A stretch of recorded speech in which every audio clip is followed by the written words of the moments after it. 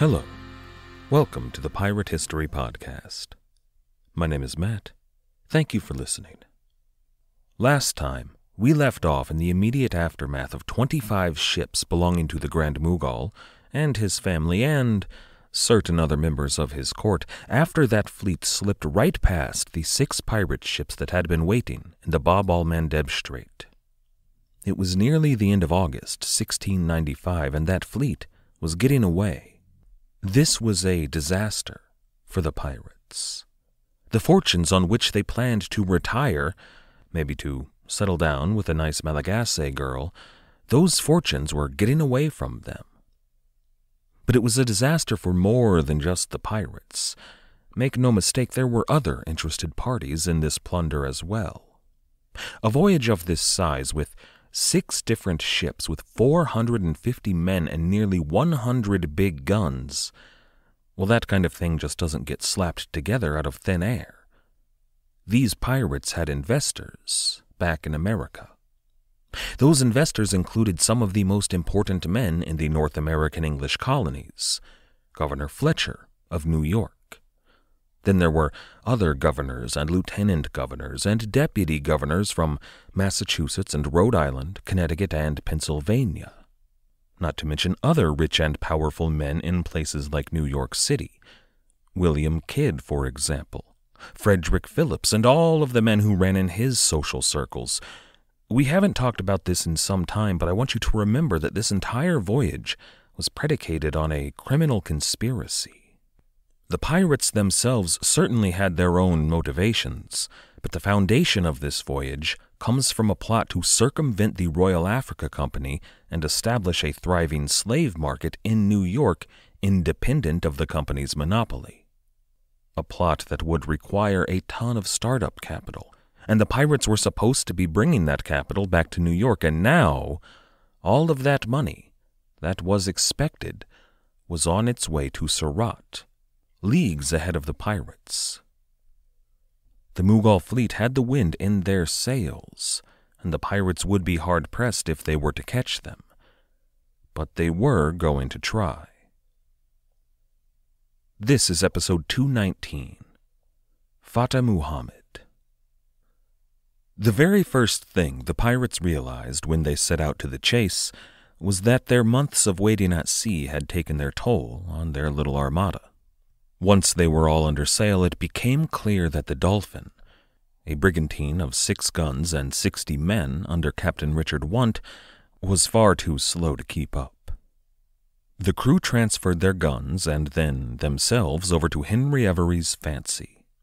Now, I told you a couple of weeks ago that Fancy was at their strongest after taking on a French pirate crew. That was wrong. Since that time, they've taken on yet another small French pirate crew and that of the Dolphin.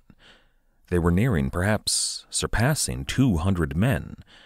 That was almost half the strength of the entire fleet. With that bit of business done, the pirates set Dolphin ablaze and opened up their own sails to give chase to the Mughal fleet. According to a one John Dann, one of the pirates on board Fancy, the Pearl, another of the ships in the fleet, was, quote, an ill sailor. Turned out she couldn't keep up either. But they didn't have the time or the space to unload her crew and guns. Instead, Fancy tossed out a rope and tied a tow line between herself and the Pearl. Pearl furled her own sails and was towed behind the Fancy. Now, I've told you more than a few times how fantastic a sailor the Fancy was. How fast she was. But look at this. With 200 men, maybe more, on board, with a complement of at this point 52 guns, and now towing a 200 ton brigantine, when every ship in the fleet finally opened up their sails, Fancy still outpaced Amity under Thomas Tew and Susanna under Captain Thomas Wake. Both ships trailed behind the Amity and the Portsmouth Adventure under Captain Joseph Farrow, the only ship in the fleet left that could keep up with Fancy. Which was not ideal. They would want Amity and the Susanna when they finally caught up with the Mughal fleet, But it could have been worse. Fancy and Portsmouth Adventure were the largest ships in the fleet, plus, they had a brigantine, the Pearl, attached. When they did catch the Mughal fleet, they could keep any ship there busy while the other two stragglers caught up. Then, together, they could strike. As ready as they would be, the Fancy, the Portsmouth Adventure, and the Pearl leaned into the chase. And I'm sure that this was a nail biting affair for the pirates, but sea chases tend to take a long time. You know, they have the same winds, after all. Even with a ship as fine as the Fancy, they aren't a fast paced car chase. So while the pirates are at the work of chasing down the Mughal fleet, let's take a moment to talk about what they could expect when they did catch up. The world of Islamic ship design is huge. Especially in the Mediterranean, there are hundreds of different types of ships sailed by Muslim sailors. In the Indian Ocean and the Red Sea, and to a lesser extent in Muslim Southeast Asia, there was one overwhelming ship type the dhow. Essentially, that just means a lateen rigged vessel, you know, the triangular sails as opposed to the square rig in the West. But just as there are dozens of types and classifications of square rigged ships, there are dozens of different types of dhow. All the way from tiny little coastal skimmers and fishing boats, all the way up to massive, hulking warships. Nothing, though, that the Muslim world put to sea could compete with the largest ships that Europe did. You know, when we're talking about the capital ships, first rate ships of the line, those were the biggest and most heavily armed ships in the world. The thing is, though, Eastern shipping didn't really have to compete when it came to things like tonnage and guns. There's this distinction between the West and the East in terms of their philosophies of war. In the West, thanks to a myriad of ancient traditions, warfare often took on this character of like a, a strong, bold line standing defiantly against the enemy. Think about Roman heavy infantry or, or a Viking shield wall, or a wall of pikemen in the early modern world, or the line of ships of the line. You know, they kind of stand there and say, Well, come on, I dare you to attack me. But when they did attack, they did so in strength. They did so with, with power. Think of a charge by medieval knights. We're talking about the heaviest cavalry in the world falling on your army and smashing it. In the East, though, things tended to be different. Often they were more subtle in their warfare. You've got these foot archers and hand cannoneers from places like China that were praying that you would line up your troops in a big wall of defiance. They would just rain down death on your big wall of defiance. And then you've got the horse archers like the Huns and the Mongols. Very fast and armed with bows, they could run in and take a bite and get out before any of your heavily armed knights would be able to respond. But in the cultural estuary of the Middle East, we see kind of a blending of these two styles of warfare. They definitely had quick and light units perfect for raiding and adept at guerrilla warfare.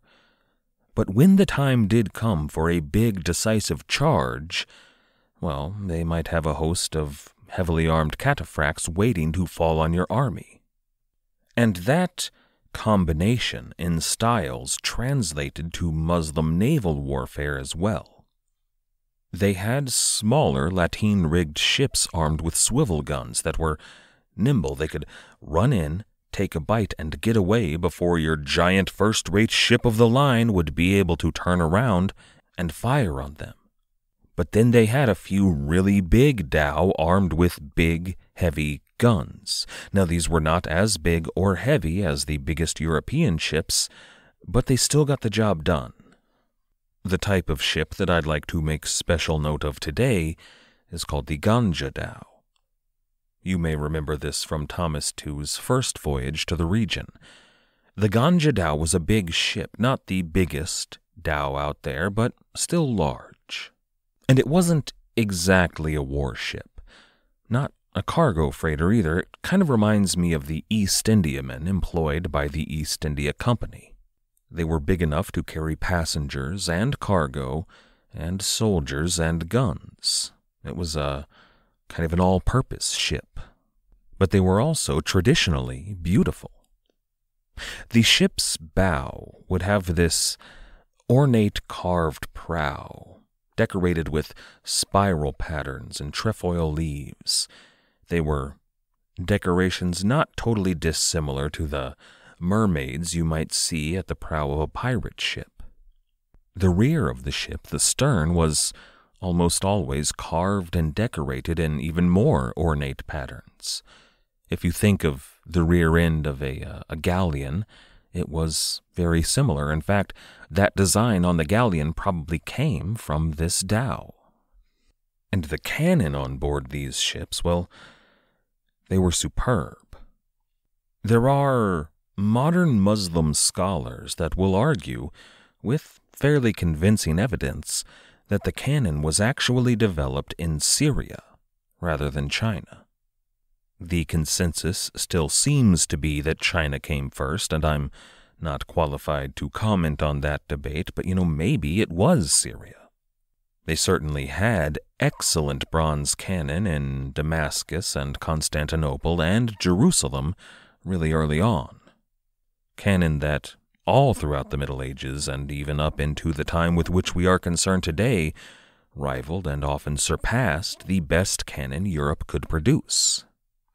And their small arms, well, this period in the Muslim world is defined by the three gunpowder empires the Ottoman Empire, Safavid Persia, and Mughal India were all conquered with firearms.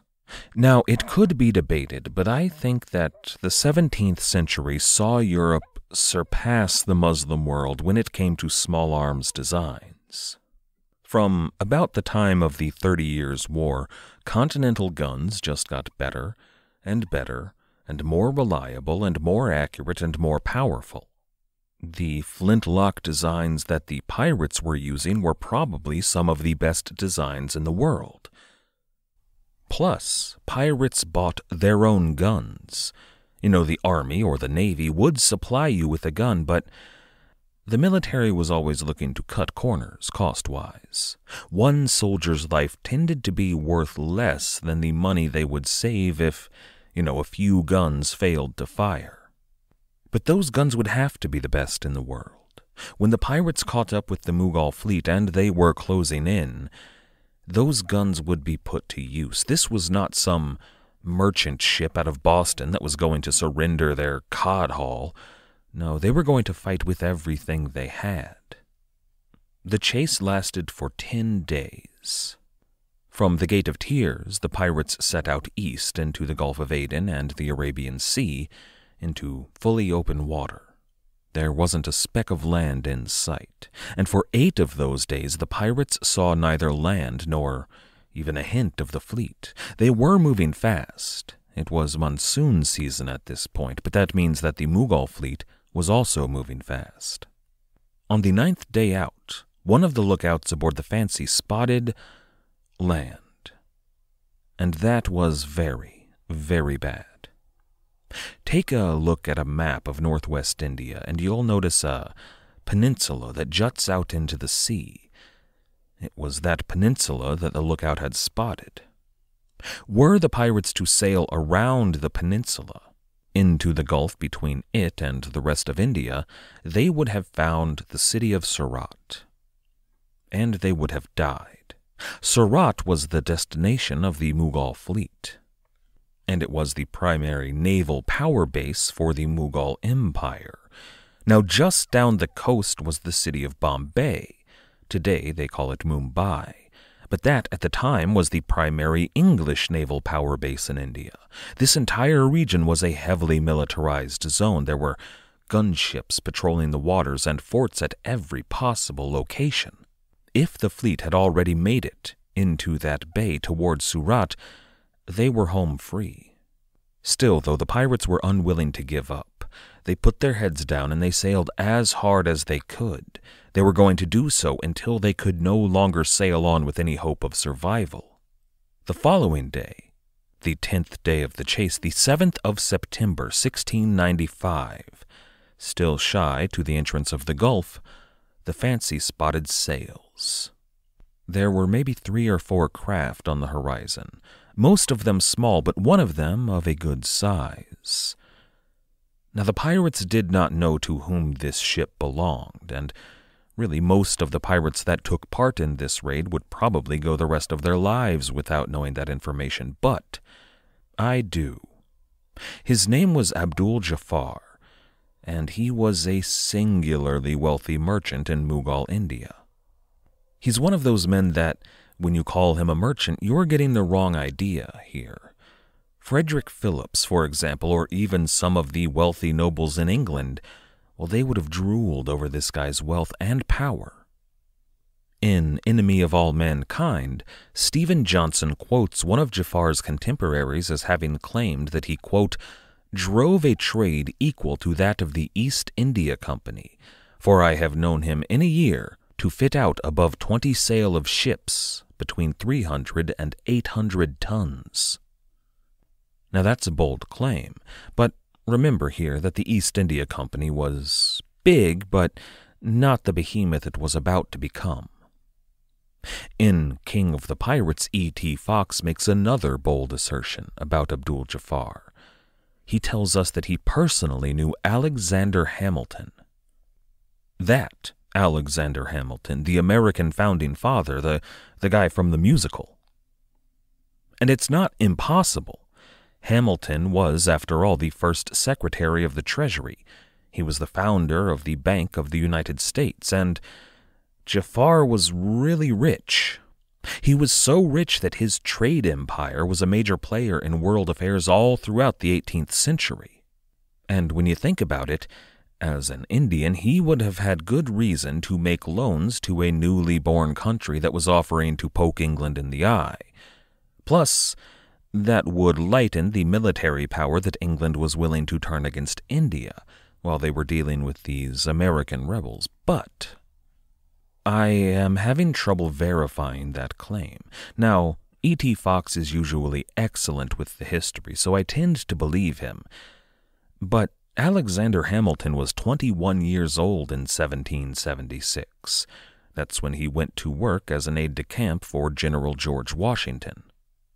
For this to be the same Abdul Jafar who had a world spanning trade empire in 1685, he would have had to have been very old when he knew Alexander Hamilton, maybe over a hundred. Of course, not impossible but I'm suspecting that there may have been a son and heir somewhere in there that kind of got lost in translation. But still, it does show us the economic power, the political power of this trade empire within the Mughal Empire. The very fact that they had four or five ships sailing with the Mughal's fleet should tell us something, a, a testament to his influence and Henry Every was about to capture one of those ships. The Fateh Muhammad. In English, literally, the Conqueror Muhammad.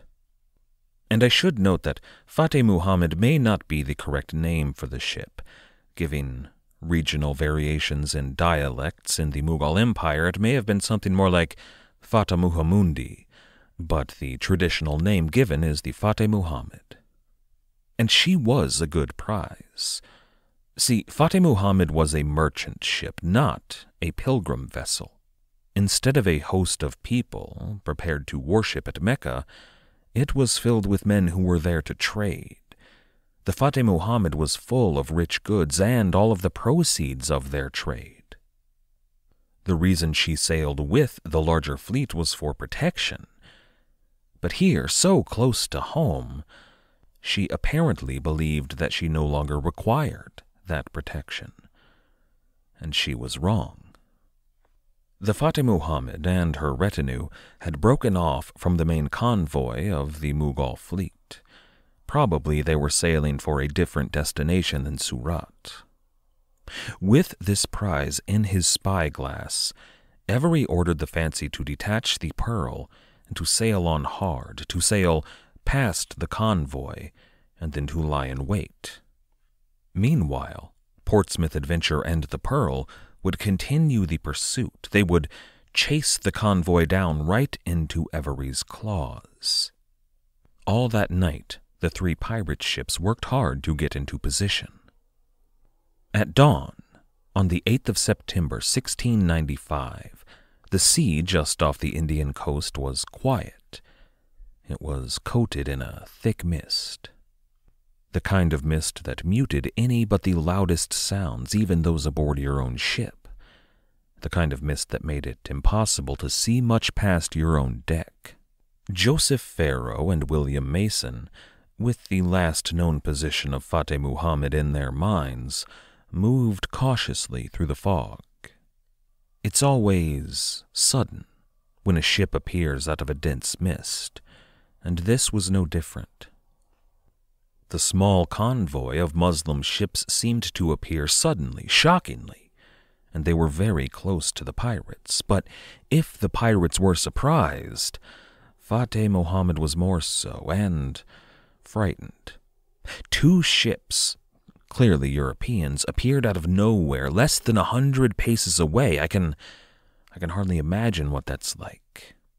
And the Portsmouth Adventure fired off a single shot a single thunderous explosion that broke the early morning quiet. A couple of heartbeats later, the ball fell into the water mere feet away from the Fateh Muhammad. Like a signal, the pirates aboard Portsmouth Adventure and the Pearl began to scream and curse at their prey. They brandished their sabers and their muskets and their pistols. They made a terrifying sight.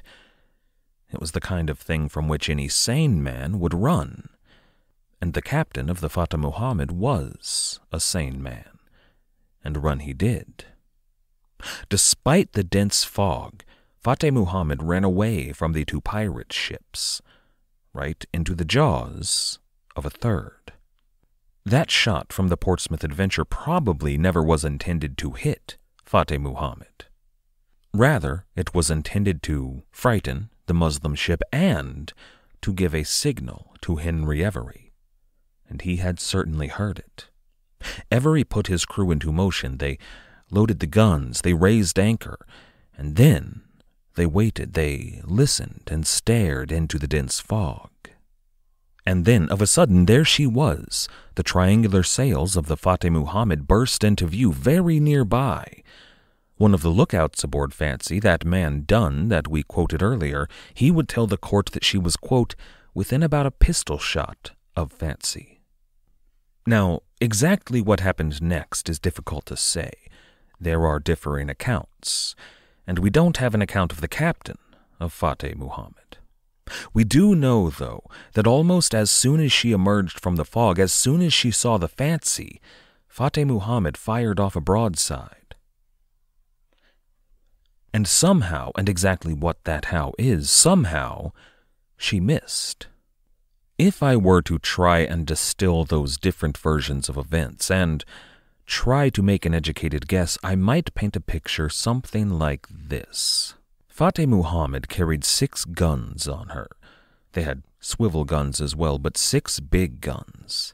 When she ran from Portsmouth Adventure and the Pearl, the captain may have ordered the guns on one side of his ship readied for action, had them loaded and primed, had them ready to fire.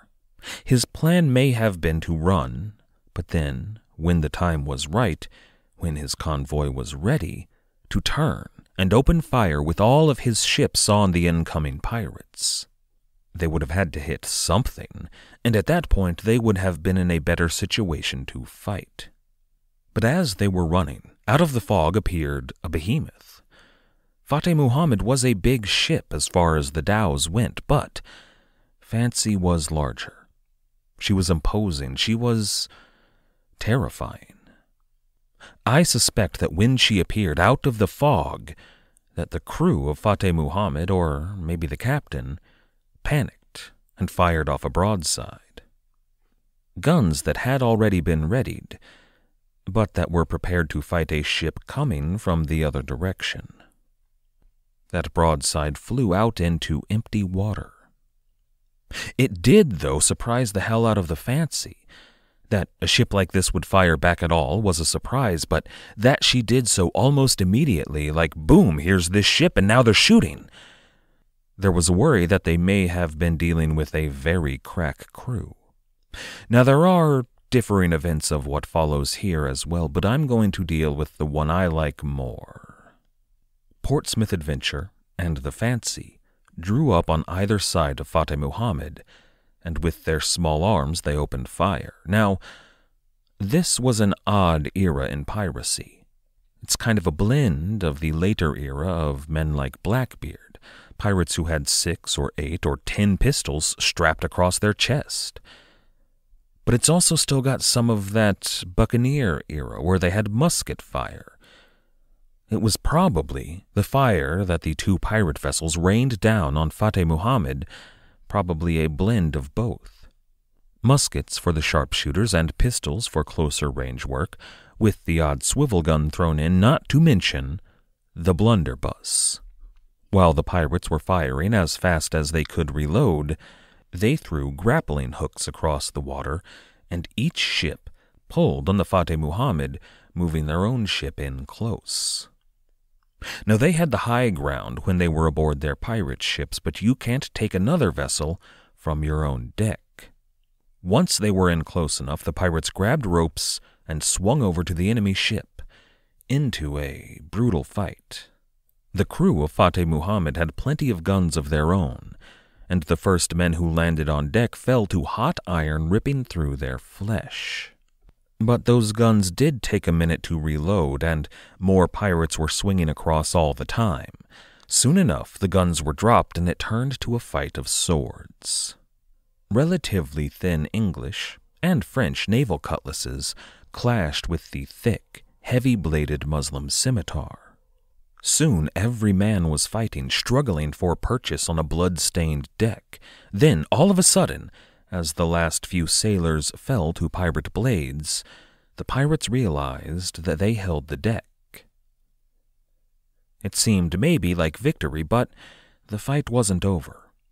The crew of the Fateh Muhammad had fallen back. They reloaded their guns and they took cover in the holds below deck. They forced the pirates to venture below, and at every twist and turn inside the guts of the dhow, the pirates faced a hail of gunfire. Two hours of slow, methodical hunting followed in the darkness of the ship's interior. It must have been a terrifying experience, and a lot of pirates were wounded and died. But more of the Fateh Muhammad's men died. When those two hours were up, she was clear of men resisting the pirates. They were all dead or captured. Shocked the pirates a bit that the crew had fought as hard as they did. Now, there were a couple of good reasons for that. First, Abdul Jafar hated pirates.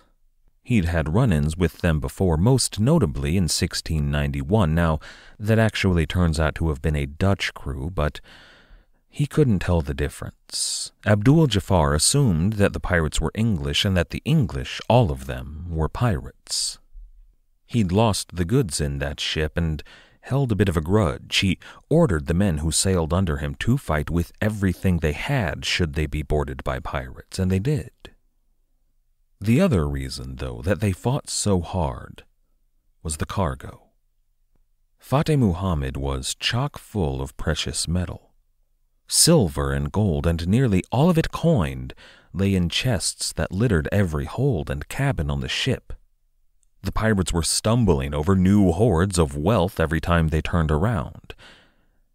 At the time, the value of the hard specie alone, so not counting the cargo, just the coins, was estimated to be around 60,000 pounds. Translated into modern currency, that's about 5 million modern American dollars, or 4.2 million euro.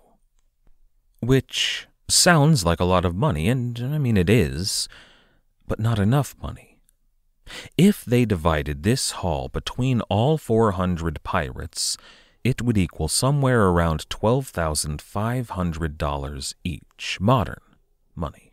Now, at the time, in a place like, say, America, that would have been enough to buy some land and a house and a horse and some tools and some seeds and basically everything you might need to start a farm and build a small family.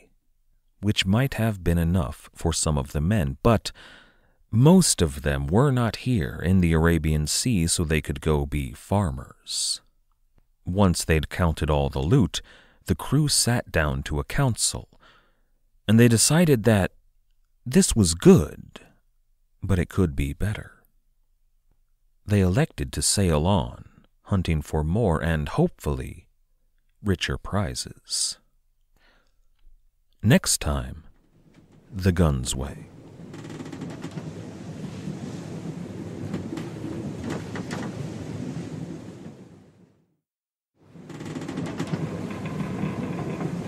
The character of Muslim conquest throughout the centuries doesn't have one single flavor. Early Islam was harsh with the pagan tribesmen in Arabia, but when they started moving into other lands, they took pains to deal fairly with other religions of the book. In most cases, Christians and Jews were taxed at the same level as Muslims. They often had an almost complete freedom of worship. Now, of course, this state of affairs didn't last. You know, with the territorial conflicts in the Byzantine Empire and then in Iberia, and of course the Crusades, there was a lot of bad blood there. However, considering the treatment of pagans in the Middle East, one might think that any other non Abrahamic faith peoples would receive the same kind of treatment, but that wasn't always the case. In India, after the Mughal conquest, Hindus weren't persecuted. And you know, you probably need some caveats there, like they weren't unusually persecuted or harshly persecuted. They were a conquered people, after all.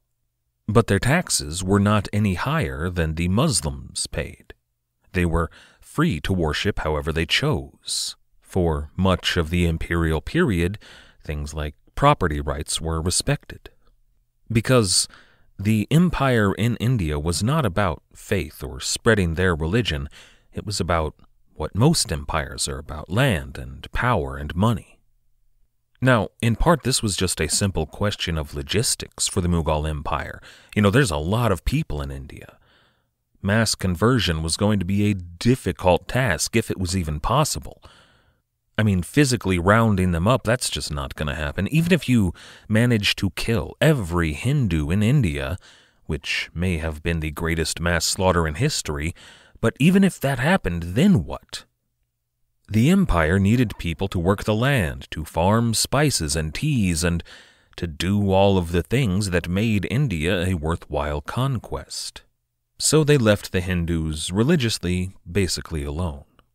So, what you have in the Mughal Empire is a subcontinent of Hindu people ruled over by a relatively small aristocratic elite. But imagine that you've got, what, a billion people. Probably fewer in the late 17th century, but certainly hundreds of millions of people. And were they all converted to Islam, they would be expected to make that pilgrimage to Mecca at some point in their lives. That would be, well, the expense alone would be astronomical. You know, most Muslim states provided some kind of transport, and of course that required guards, and for a lot of those states, even some financial assistance to those who required it for their trip to Mecca. Offering those kind of services for the whole of India, well, that's just out of the question, even for the Grand Mughal Aurangzeb, the world conqueror, maybe the richest person in the world in the 1690s. Even for him, that would be a bit much to ask, so, you know, let the people worship their gods. Now, let me pose to you a question. Say you were involved in a heist, a big score, and you found out that the victims of that robbery would be a bunch of widows and orphans.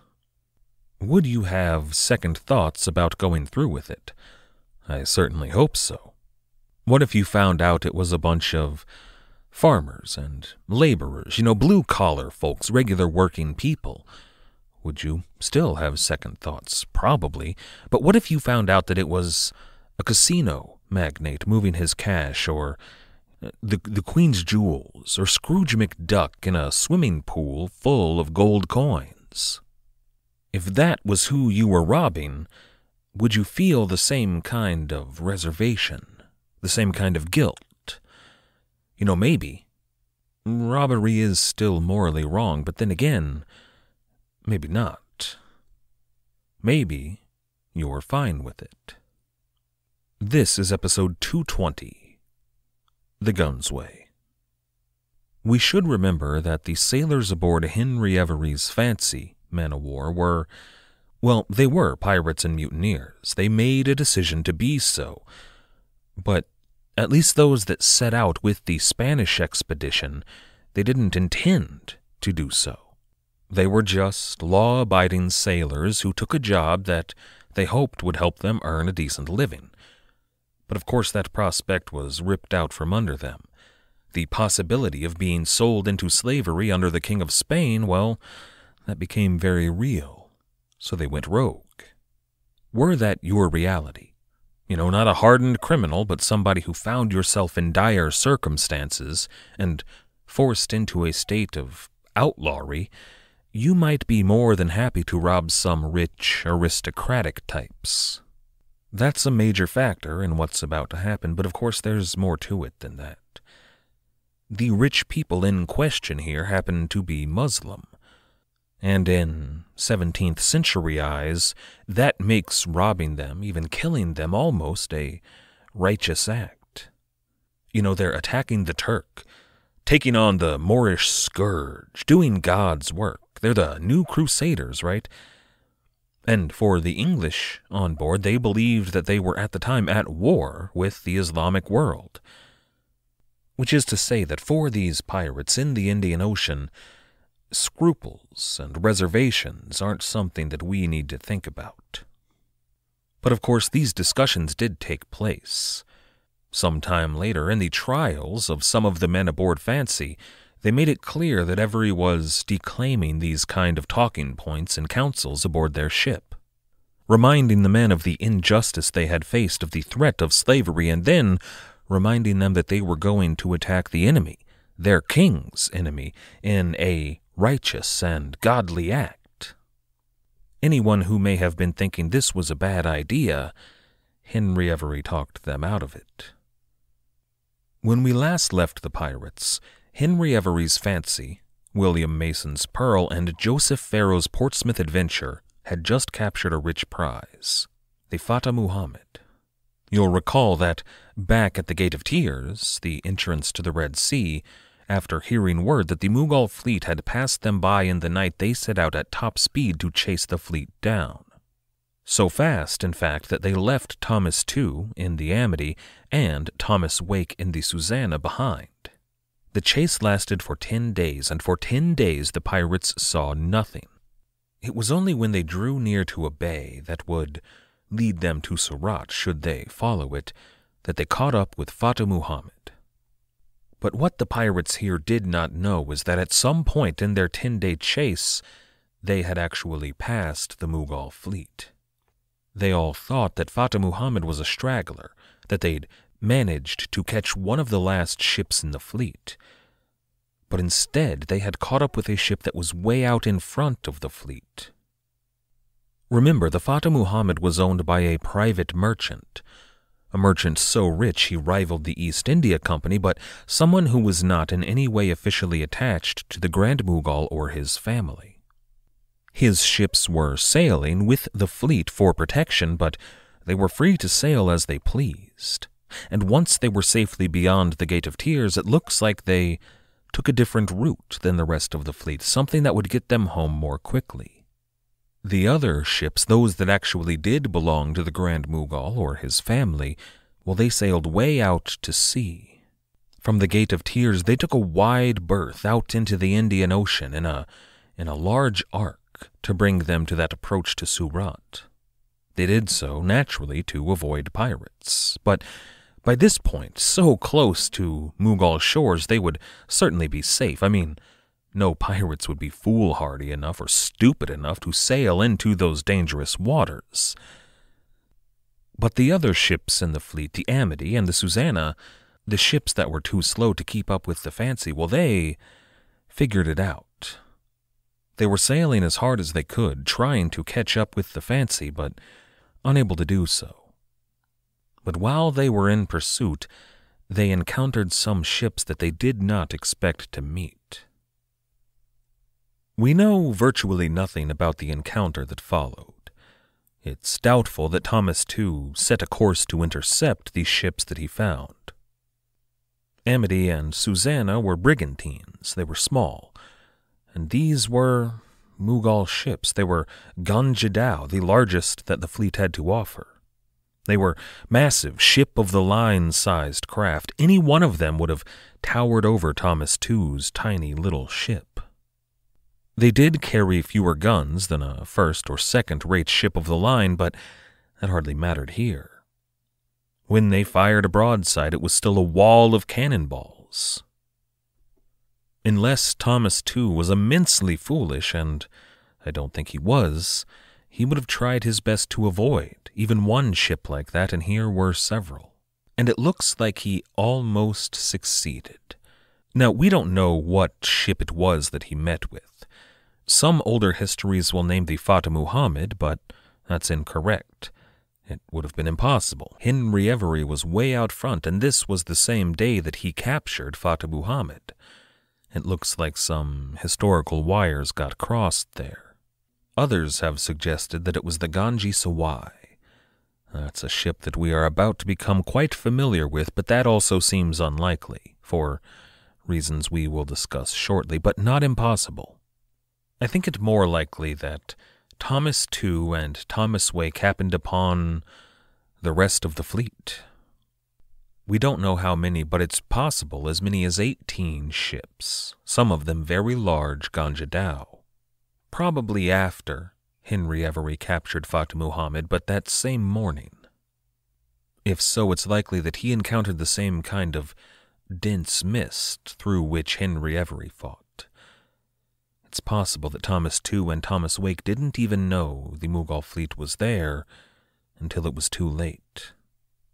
I picture a fleet of large, lateen rigged vessels coming up from the south in a relatively straight line, all of them beautifully painted and carved and ornamented.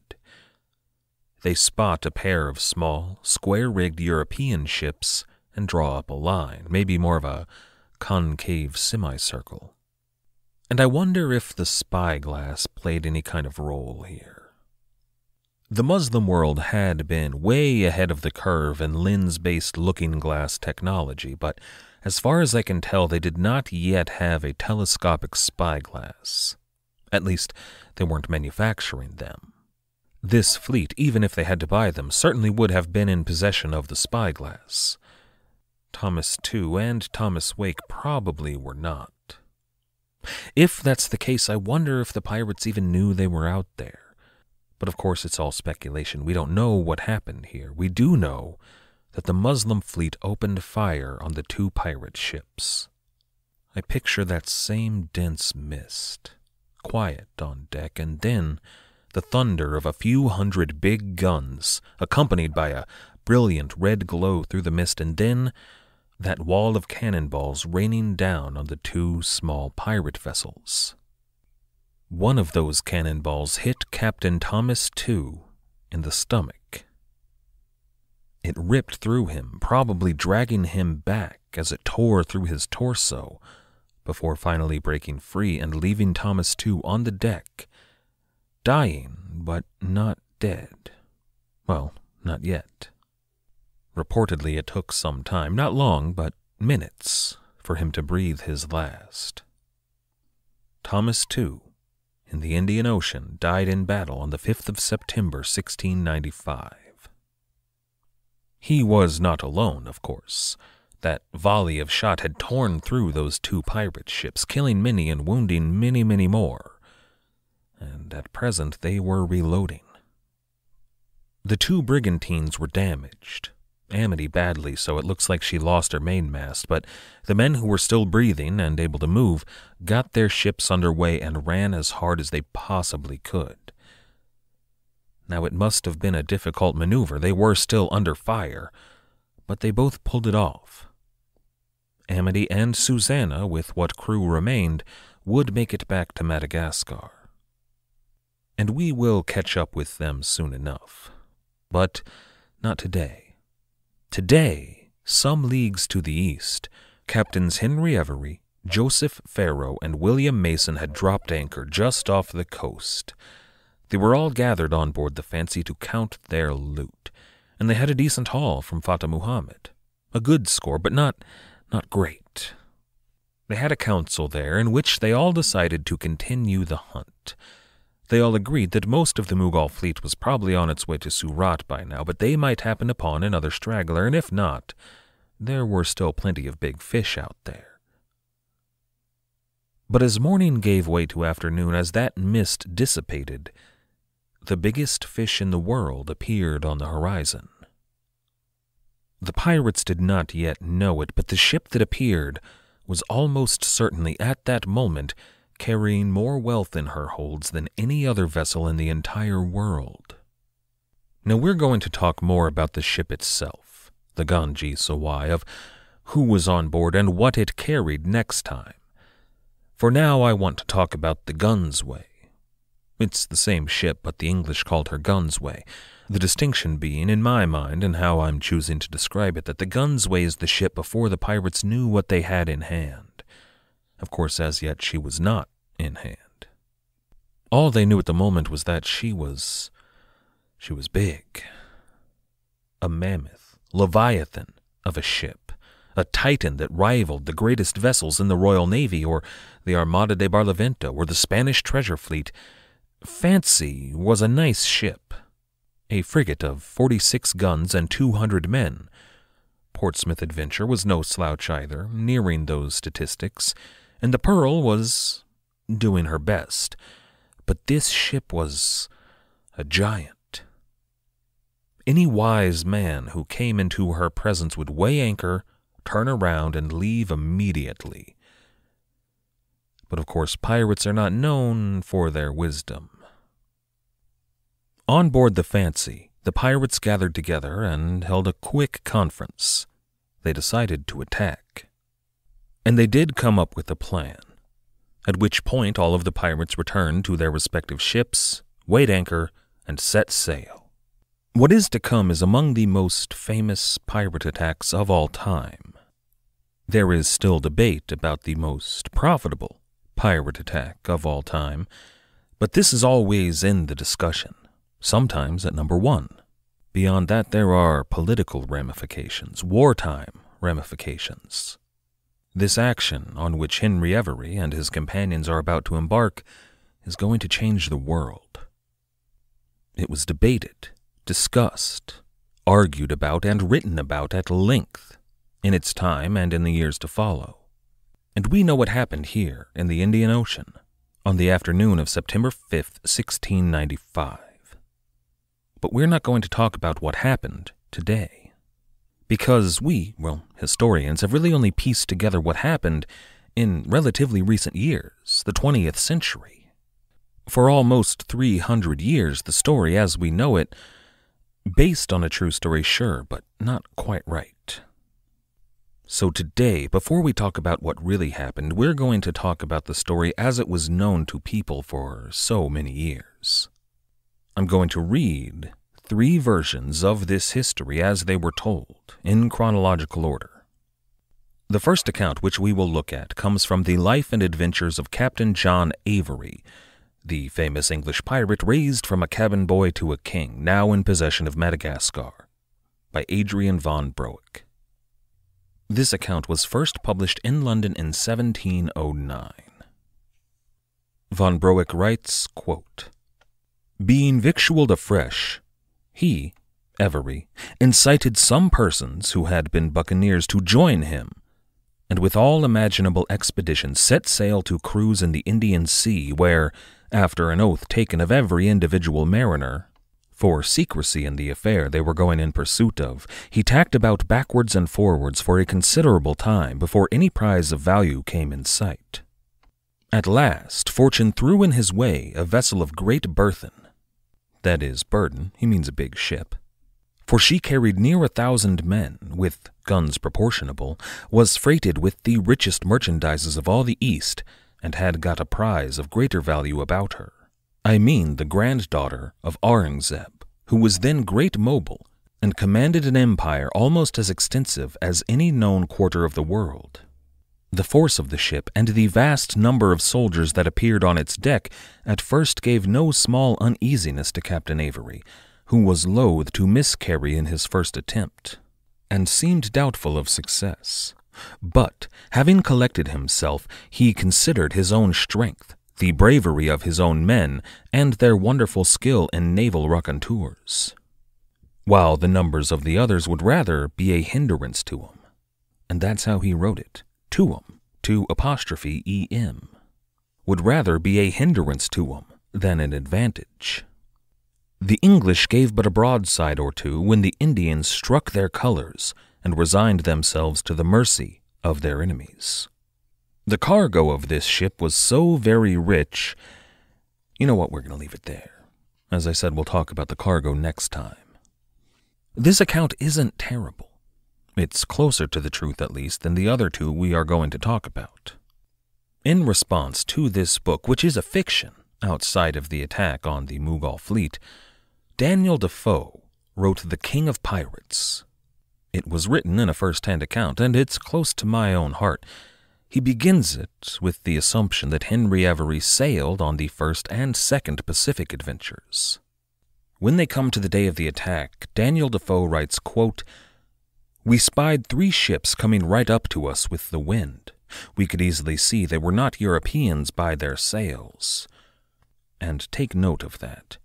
And begun to prepare ourselves for a prize, not for a fight, but were a little disappointed when we found the first ship full of guns and full of soldiers, and in condition, had she been managed by English sailors, to have fought two such ships as ours were However, we resolved to attack her if she had been full of devils, as she was full of men.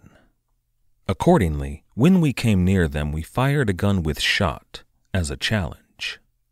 And he's saying there that they fired a gun without a ball, loaded with shot but no ammunition.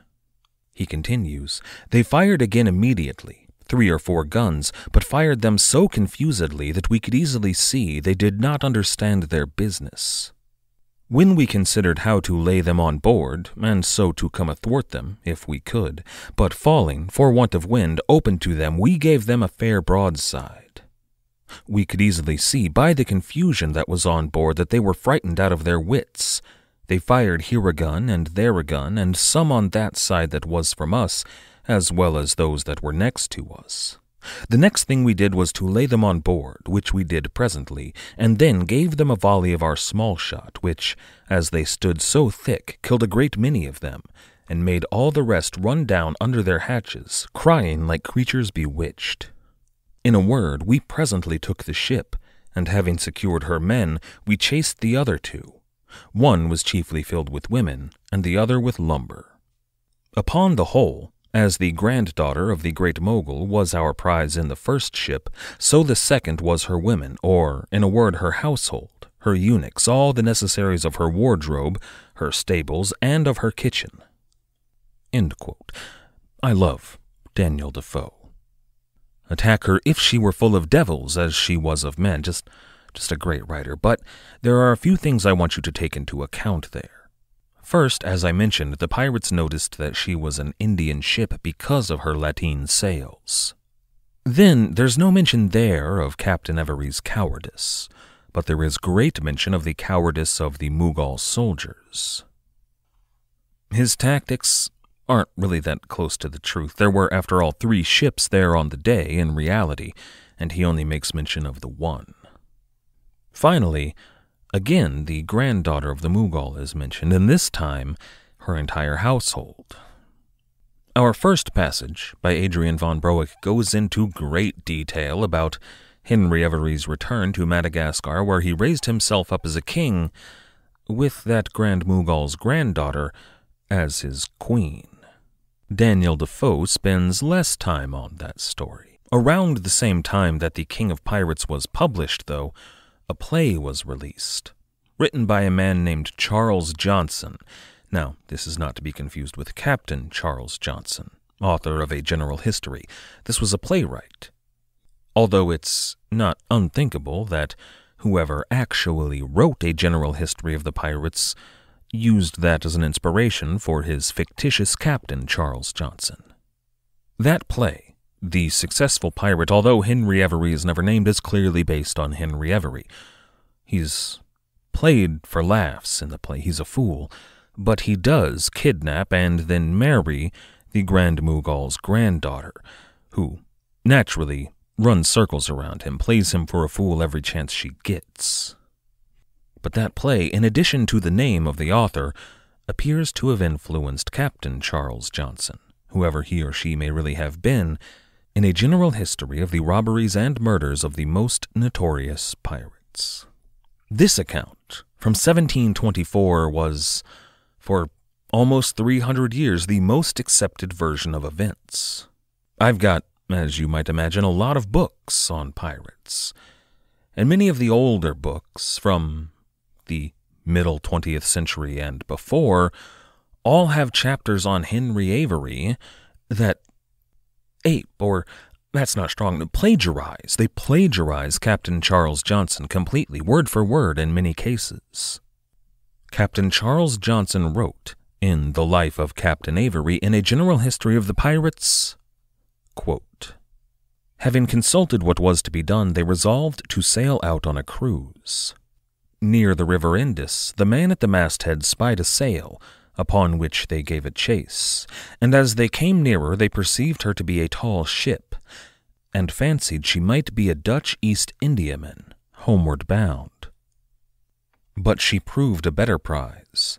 When they fired at her to bring to, she hoisted Mogul's colors, and seemed to stand upon her defense. Avery only cannonaded at a distance, and some of his men began to suspect that he was not the hero they took him for. However, the sloops made use of their time, and coming one on the bow and the other on the quarter of the ship, clapped her on board and entered her, upon which she immediately struck her colors and yielded. She was one of the great Mogul's ships, and there were in her several of the greatest persons of his court, among whom it was said was one of his daughters, who were going to a pilgrimage in Mecca. And then he goes on to talk about the riches as well. It's all very stereotypical riches of the Orient stuff. The first thing I take serious issue with, as you may have noticed by this point, is the assertion that the pirates thought she might be an East Indiaman. That ship was a ganja dhow. It had, as we have mentioned several times, lateen rigged sails, big, triangular sails, hard to miss. Daniel Defoe, of course, got that right because Daniel Defoe knew a thing or two about sailing. And that makes me think that maybe Captain Charles Johnson did not. And here, in the strongest terms yet, Captain Johnson refers to Henry Avery's cowardice.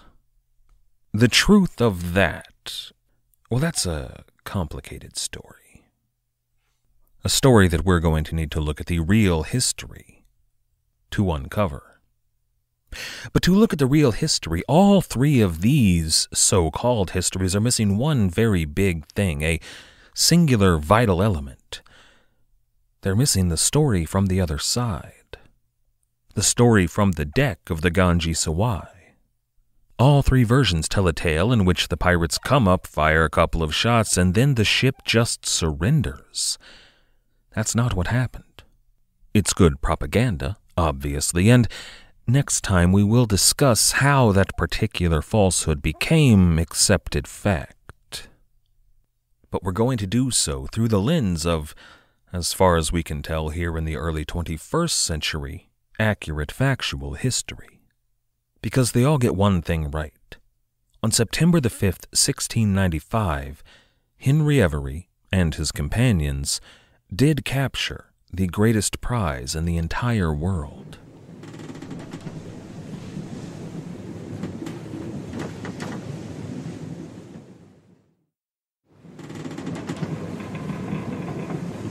Last time we talked about Captain Henry Every and the pirate ship Fancy, and their daring attack on a much larger and amazingly wealthy Mughal ship, the Gunsway. Really, though, we talked about some of the less than accurate accounts passed down through the years. Today we're going to look at what really happened, from the mouths of those who were there and those who investigated the scene, including the accounts and histories from the Mughal world. This is episode 221 Ganj-i-Sawai. We don't actually know who owned Ganj-i-Sawai. I've been saying it was the Mughals' ship, owned by Aurangzeb himself, and for a long time that was believed to be the case, but recent scholarship has spread doubt that that was actually true. See, while Aurangzeb was the richest man in the world, allegedly, and lived in extreme luxury, his personal wealth was also kind of state wealth. The emperor's treasury, the royal treasury, was the national treasury. This was pretty common in the old world. You know, when it came to light that King Louis XVI of France was broke, the French had a little revolution. He'd mismanaged the finances of the kingdom so when the king invested in, say, a joint stock company, like King William III did in the East India Company or in the Spanish expedition, well, that was understood to be a state investment. But if another member of his household, usually one of the women, say his mother or his sister, it could be his wife as well, but that was more complicated if she was the queen. But if one of the women of the household invested, that was family money. This was common in Western Europe at the end of the 17th century, but you see basically the same thing in the Mughal Empire. Now, Aurangzeb himself was harsh with the men in his family. He imprisoned his own father, he killed and or betrayed his brothers. His eldest son, who did lead a revolt against his father, but he died in prison. Of his two illegitimate sons, one died in exile and the other as the king of a foreign land. Kind of a luxurious exile. Only one of his four sons lived a full and long life, and he was the son who succeeded Aurangzeb. But the women of the court fared much better. You know, they lived lives of wealth and influence and real power of a sort. They could not actually supplant Aurangzeb, so therefore they enjoyed a lot more trust than the men in the family. One of the centerpieces of the wealth of these women of the court were the ships that they owned. Really, they were trading fleets that made themselves and the royal household quite a lot of money. Now, of course, Aurangzeb owned plenty of ships himself. But as they were also essentially state owned affairs, they tended to be a lot more conservative and militarily powerful than those that were owned by his wives and daughters. They were kind of a merchant navy. Most historians today seem to agree that Ganj-i-Sawai was owned by one of the women of the court, but we don't know who it was. I've seen almost everyone suggested. His mother and his wives, of course, but by 1696 they were all dead, by that time, there were really only three candidates. First, there was a Georgian born slave girl named Udaipuri Mahal. Udaipuri was captured as a teenager and then sold two or three times to finally make her way to India, but she belonged to one of Aurangzeb's rivals. When that rival was defeated in battle and killed, Aurangzeb noticed this reportedly very beautiful and very young woman and made her a concubine. She was probably about 15 or 16. By that point, Aurangzeb was 50. But he let her get away with just about everything. She was a deeply corrupt individual. She enriched herself to no end. Most scandalously, she liked to get really, really drunk, which, you know, in a Muslim society is pretty frowned upon. Even stuff like court intrigues and assassinations. Under normal circumstances, for most of his concubines and even his wives, they would have been reprimanded or exiled or even killed, maybe. But Udaipuri was young and vibrant, and reportedly for her entire life, this exotically sexy beauty. The Emperor, it's clear, was just wrapped around her finger. He overlooked everything she did. And she did own a fleet of ships. However, I think she's the least likely candidate here. The second candidate is one of Aurangzeb's daughters, Zinat Unnisa, who was actually older than his very young concubine. Must have loved that, but Zinat was a pious and devout Muslim. She was devoted to her father her entire life. She never married, and in the 1690s, just a couple of years before what we're talking about today, she was made mistress of the household. Now, when you're talking about the emperor's household, and the emperor is a man in his 80s, that's a position with a lot of power. And Zinat was a power broker. She and Udaipuri were locked in a kind of perpetual conflict.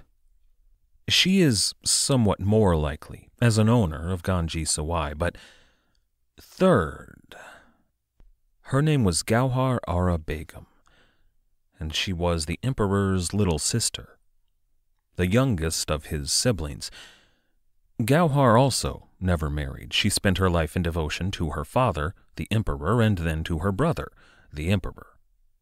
She ran the royal household for most of her life, that is, until her niece, Zinat, took over in the early 1690s. But that means that she decided things like marriage alliances and even policy decisions. You know, anyone who had any political influence on the emperor kind of had to be verified by her. And she never conspired against the throne. In fact, she was maybe its staunchest ally. She and Aurangzeb worked very closely. More than any of his wives ever could have hoped to be, she was the mistress of the household. Oftentimes, after he left his wives, late at night he would go to his sister's chambers to discuss policy with her. And when she died, in March 1707, Aurangzeb was heartbroken. He never recovered from that blow. He would die only three months later. I'm trying to say here that they were really close. Close in a way that one might associate with a man and wife, only Aurangzeb was never anywhere near that close with any of his wives. Were something untoward to happen to his baby sister, Aurangzeb would have been furious. When we last left the pirates under Captain Henry Every, when we last left the facts behind, at least, they were all on the deck of Fancy, counting their loot from the Fateh Muhammad. And that was when a very large ship appeared on the horizon. It's not impossible that this was the same ship that fired the cannonball that killed Thomas Tew on that very same day, September 5, 1695. The pirates all sat down to a quick council. Captain Joseph Farrow of the Portsmouth Adventure, of 90 tons, 6 guns, and 60 men, and Captain William Mason of the Pearl, 200 tons, 16 guns, and 100 men. Well, they were all on board, including most of their crew. The former crew of the Dolphin, under Richard Want, which had been scrapped, was also on board, as were all of those French pirates. They decided to attack. Even when two smaller sets of sail appeared, they were going to attack her, and they came up with a plan. The crew of the Dolphin and all of those Frenchmen were going to get on board the Pearl and Portsmouth Adventure. Their job, the job of those two ships, was going to be to sail in, to, you know, sure, if the opportunity presented itself, take a shot, but really to sail in close on either side of this big new prize and to board her. Meanwhile, Henry Every and Fancy were going to stay back. They were going to use Fancy's incredible speed to avoid fire from this newcomer. All the while, they would be bombarding this ship from afar. And they could do it. Fancy carried 46 excellent Dutch guns. With their plan in place, the pirates returned to their respective vessels and got under way. Now, you'll recall from last time that two of our older sources commented on Henry Every's cowardice in battle. This was commentary after the fact, at least it's not present in the record except for one possible mention as such in a trial transcript. Henry Every was a lot of things, and many of those things were bad, but he was a Navy man turned pirate, and he was not a coward. But it must have been hard to hold on to courage here. When those three Mughal ships got closer, not yet quite in range, but close enough, the sheer size of the largest was a shock. A ship like that was an intimidating sight, huge and bristling with guns. The number usually given is sixty big guns. Still, Fancy stood right in the road. That is, stood right in the path of Ganj-i-Sawai, waiting to intercept her. This was a tactic intended to force the larger ship to pull up, stop, and prepare to fire. All the while Portsmouth Adventure and Pearl would get in close, but the tactic didn't work.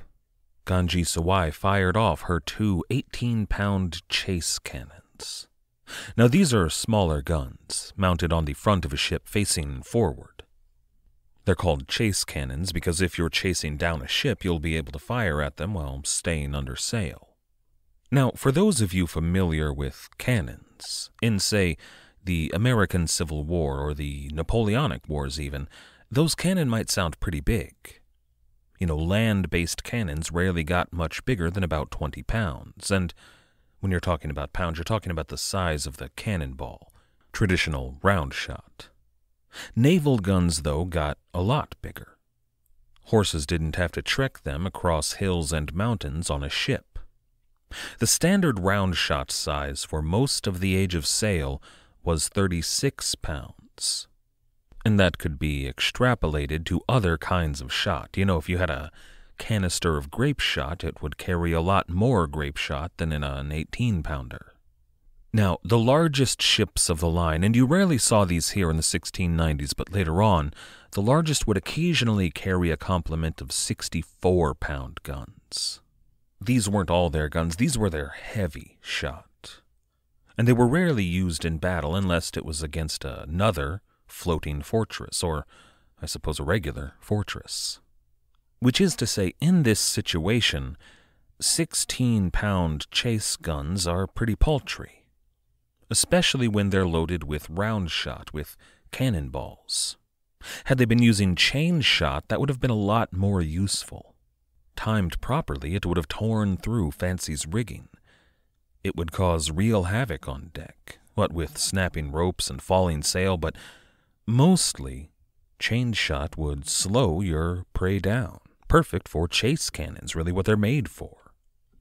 Of the two 18 pound balls shot off by Ganj-i-Sawai, one just flew right by harmlessly, but the other did strike a direct hit on Fancy's mizzenmast, and then it bounced off. No damage was done to speak of. It, it did, though, show the pirates on board that this ship was prepared to fight. And that I think that is what might really have terrified the pirates who were prepared to board her aboard the other two vessels. Once they got in close enough to get a good look at the guns and realized that she was ready to fight, and then saw the sheer number of men on board. The Mughal ship had 200 crewmen, more than any ship in their fleet, but that's nothing. It had 200 dedicated soldiers on deck, all of them armed with exquisite muskets and vicious looking sabers. Now, again, the sources are kind of split here. Whatever the cause may have been, Portsmouth Adventure and the Pearl held back. Now, this has been cause for some historians, some of them very good historians, to call them cowards. But I'm not so sure about that.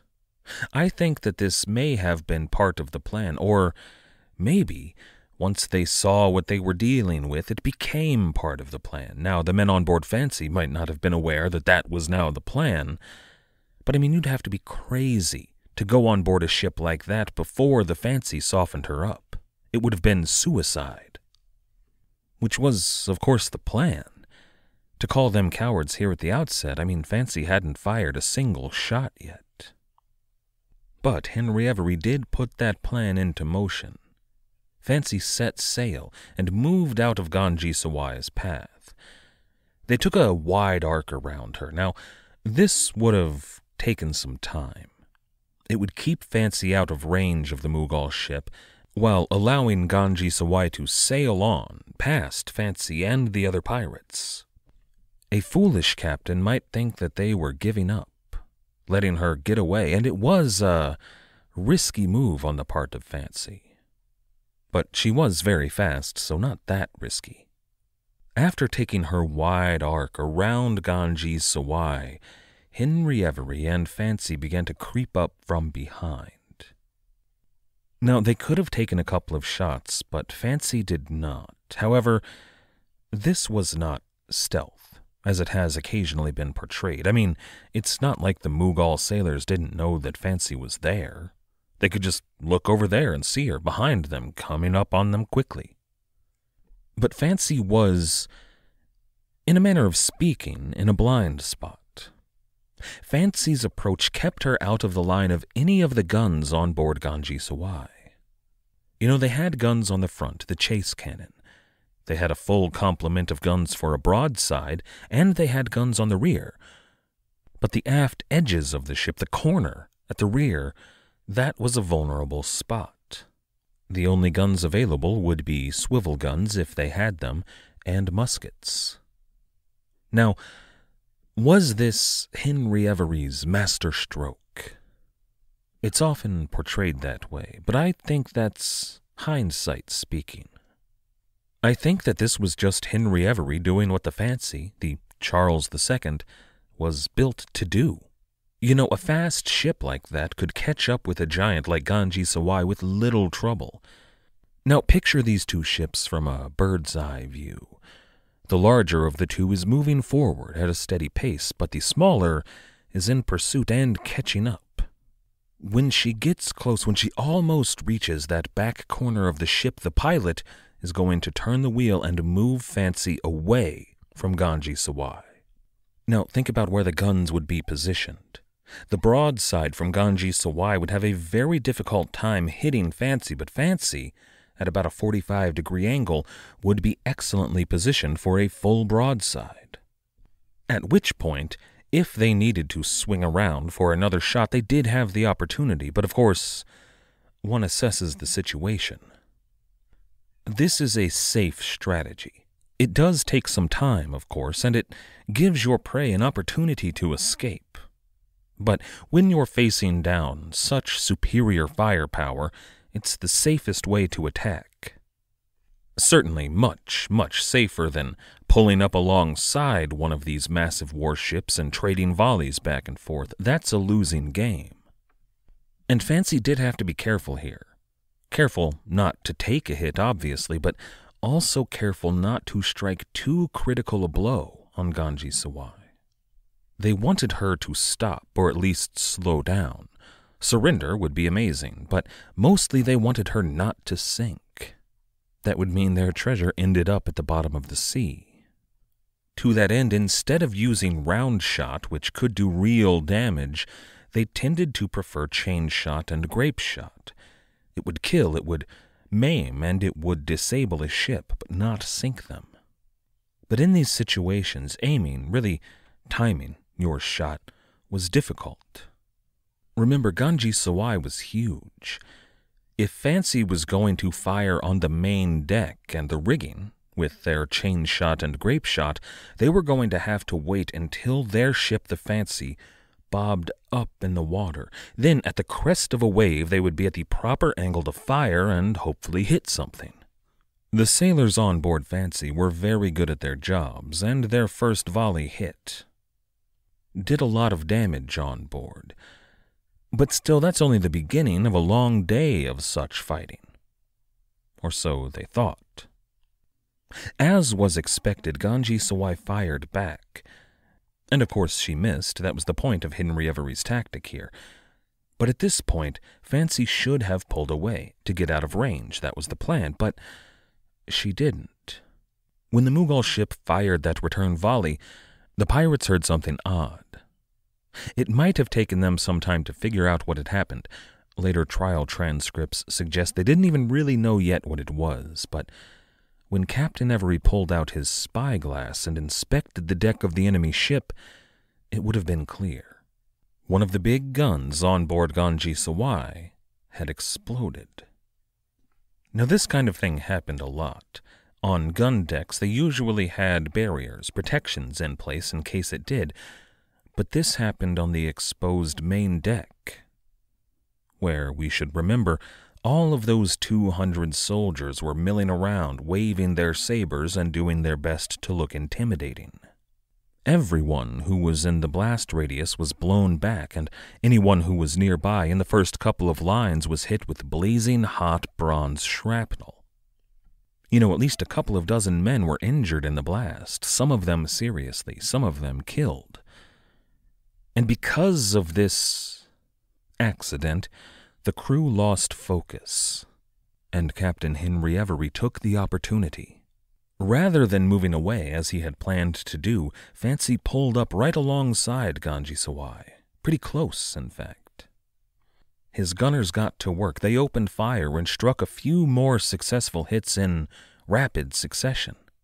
Now, the Mughal crew was struggling to get back into the fight here, and finally they did, but by this point it wasn't going to do them much good. It's possible that the crew on board Ganj-i-Sawai just weren't very good at their job, that they were inexperienced at gunnery. Now, that would be a surprise to me on a ship like this, but possible. Either way, they did fire back, but they did so irregularly. You know, we talked about needing to shoot at the right moment, and they never seemed to do it, and they never shot together. They never had a solid volley. That means that though they did get quite a few shots off, none of them really seemed to hit the fancy. Ganj-i-Sawai, as we may have noted, was really, really big, and all of her guns were up really, really high. Perfect for a battle of the line, right? You know, standing in defiance and firing at the enemy from a long distance, but not for a fight with a ship like Fancy. Nearly every shot that Ganj-i-Sawai fired sailed harmlessly over the Fancy. They did a little damage to the rigging. The mainmast, which had been damaged earlier that morning in the fight with Fateh Muhammad, well, it was damaged again, but again not totally broken. If Ganj-i-Sawai had used chain shot here, it would have been over. Fancy would have been unable to do anything, dead in the water. But she didn't. They might not have had chain shot, but if they did, it would have saved the day. Instead, nearly all of their round shot, fired sporadically and at the worst possible times, splashed into the ocean on the far side of Fancy. Now, at this point, the Pearl, on the other side of Ganj-i-Sawai, began to move in on her, and Portsmouth Adventure did not and this has been attributed to cowardice, but I would be surprised if that were the case. You know, maybe Captain Farrow lost his nerve, but I think more likely he was probably busy. Most accounts of this day tend to focus on Fancy and Ganj-i-Sawai, for good reason, but remember there were two other Mughal ships out there, and they were going to be captured. And oftentimes they're just tacked on after the fact. It's all Captain Henry Every notorious arch pirate captured the Mughal ship and did horrible things, and then also the other two ships, yeah, whatever. But I think that Captain Farrow, the second largest ship in their fleet, was probably busy dealing with them. While the Pearl sailed up to aid Fancy in capturing the really big prize. Now, boarding the ship was going to be no small task here. With 200 crewmen and 200 soldiers, the potential defense force that Ganj-i-Sawai could put into action far outnumbered what Fancy and Pearl could put aboard. Even if they'd tossed in Portsmouth Adventure, they still had more men. Even considering the casualties they had already suffered that day, they still had more men. Added to that, boarding was a slow process especially against a larger enemy. You know, if you were taking a ship that was smaller than you, you could fire down upon them with impunity. But in this situation, they couldn't fire up on them when they were right up alongside. You know, some of their crack shots could have gone all the way to the opposite edge of the fancy and with their muskets picked off anybody who came to the rail, and that would do some good, but not a lot of good. The men who climbed on board Ganj-i-Sawai were going to be doing so almost blind. Happily, flintlock pistols were by this point the preferred firearm of the pirates. So Fancy sent out their grappling hooks and pulled themselves in close to Ganj-i-Sawai, as did the Pearl. Then, with ropes in place, they began to climb the hull. And when they reached the top, they would have expected a wall of defenders waiting to cut them down. The smart move was to peek your head over, fire a shot with one of your pistols, assess the situation, and then jump over the rail, jumping out of the way if need be. Even then, a good number of men boarding the craft were going to die, but when the crew of Fancy and that of Pearl jumped over the rail, instead of a staunch defense which they had expected, the deck of Ganj-i-Sawai was in chaos, utter bedlam, on board. Now, it's not clear that any of the pirates on board really understood what was going on. It was a confusing mass of humanity, but thanks to the sources from the Ganj-i-Sawai, we know what was happening. The deck, indeed the ship, was in chaos because there were so many passengers on board, and many of them had crowded on deck. As a pilgrim ship, Ganj-i-Sawai carried 600 passengers men, women, and children, families in most cases none of whom had any business holding a sword or doing any fighting at all. They would have just gotten in the way. But when a trio of tiny, insignificant little pirate ships appeared on the horizon, the captain let them know about it. You know, maybe you should. Hey, everybody, there's pirates out there, not to worry. But all of these passengers crowded the deck to watch. They wanted to see these pirate ships get blown into oblivion, which of course they would because of the overwhelming force of their own vessel. And I mean, in that situation, wouldn't you do the same thing? I mean, when else are you going to see an exciting sea battle this close up? And it should have been safe. You know, the captain, had he been responsible, would have sent everybody back to their cabins, nothing to see here, but he didn't, but it really shouldn't have mattered. The overwhelming firepower should have taken care of these pirate ships. But of course, one of their guns exploded, and the battle began to turn south, and suddenly there was a host of deadly English barbarians crowding onto the deck. The passengers were terrified, and they began to scrabble away, trying to get below decks back to their cabins. Meanwhile, the soldiers were all trying to get into their own position to defend from the pirates who were scrabbling on deck. The end result was confusion. Nobody was where they should have been when the pirates appeared. There was no defense set up to meet them. Now, even in that situation, there should have been. But the commander here, the captain of Ganj-i-Sawai, was an embarrassment.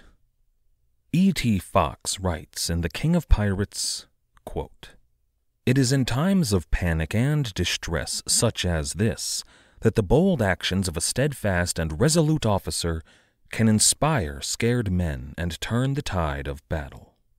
Despite damage to the ship and losses to the crew, strong leadership could still save the day.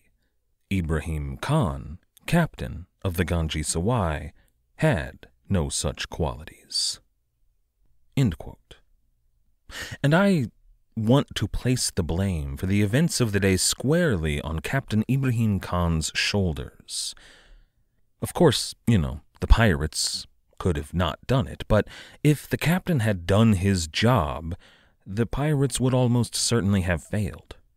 And with a name like Khan, and from the Mughal Empire he probably was a descendant of the Khans, you would have hoped that he'd be a fierce fighter, but he wasn't.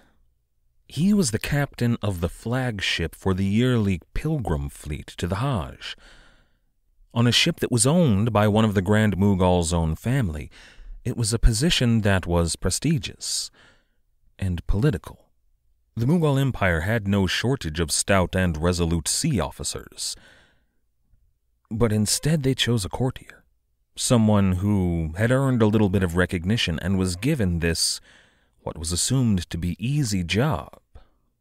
When the pirates boarded, Ibrahim Khan ran away. He fled below decks and immediately hid out below, and that's bad enough, but he should have left someone in command. But he didn't. The crew was leaderless, they were lost. Then, well, it gets worse. Back in Mocha, a port on the Red Sea, Ibrahim Khan had acquired four slaves. They were European slaves, and no one is quite sure where they're from, but they probably didn't speak any Persian, which is the language that Mughal leadership spoke. Most likely, these four slaves were captured in Barbary pirate attacks on the Mediterranean. That would mean they were most likely Italian or French or Spanish. Their stories were likely similar to those of the Mughal's young concubine. These four slaves were all young women, or more accurately, really girls. And I can't imagine what the past several months of their lives had been like, what they'd been through. You know, to endure an attack by sea and then to be kidnapped and taken to Algiers or maybe Tunis, but then on to Alexandria, across Egypt, and finally down the Red Sea to Mocha.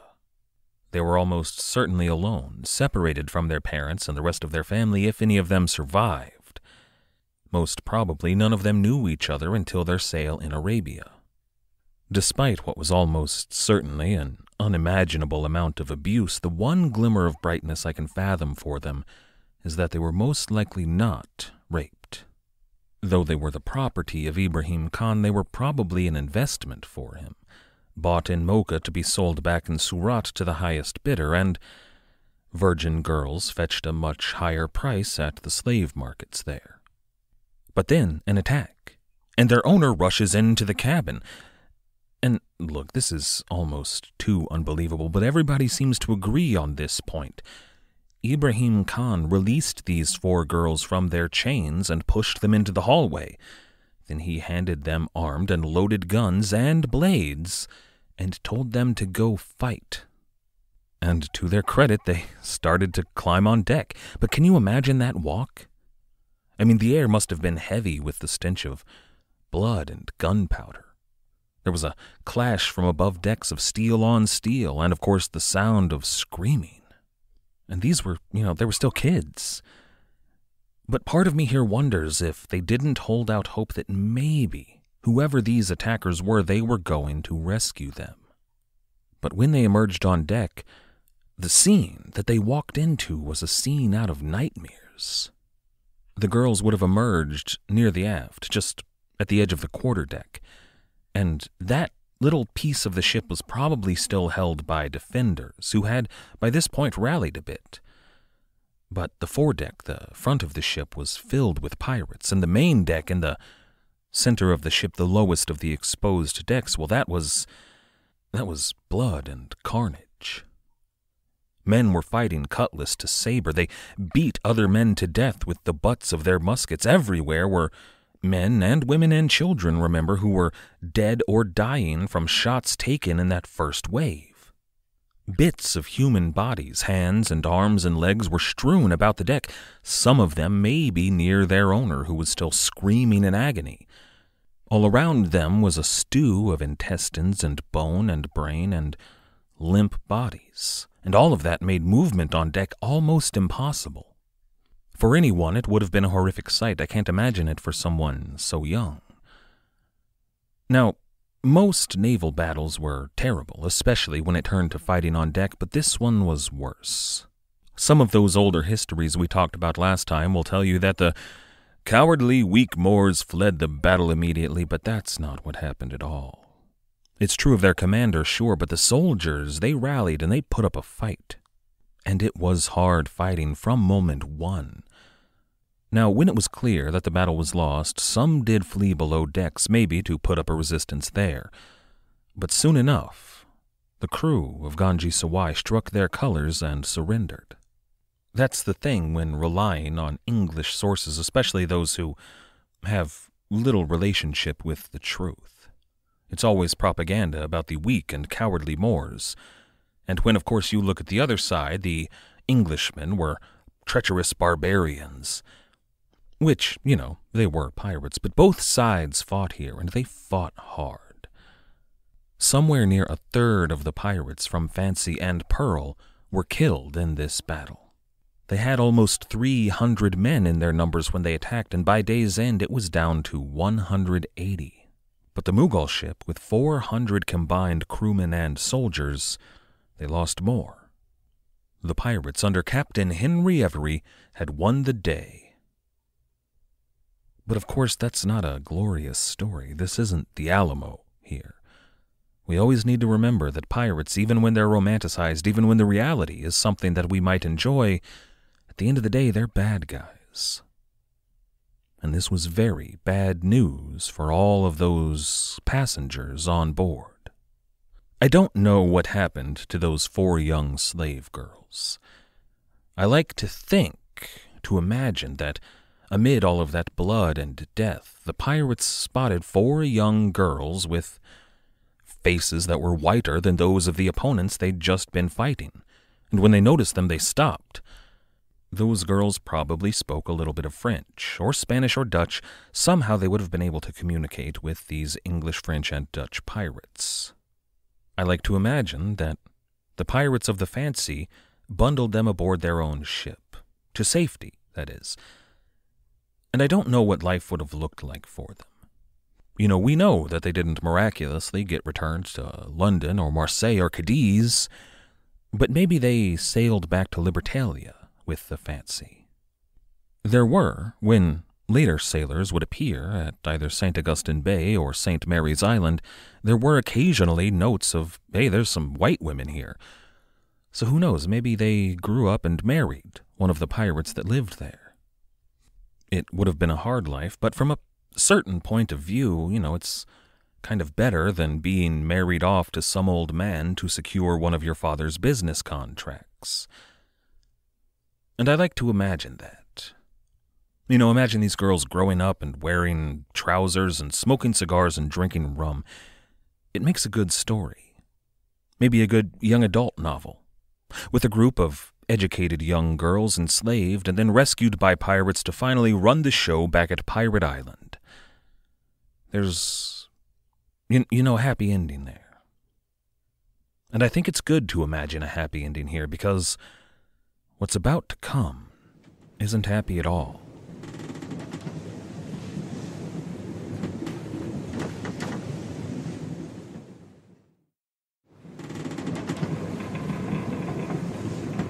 Today's episode is going to be difficult.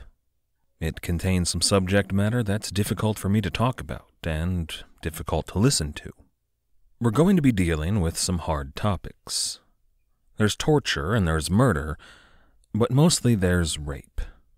It's important to the history and the rest of this story. I'm not focusing on it for fun.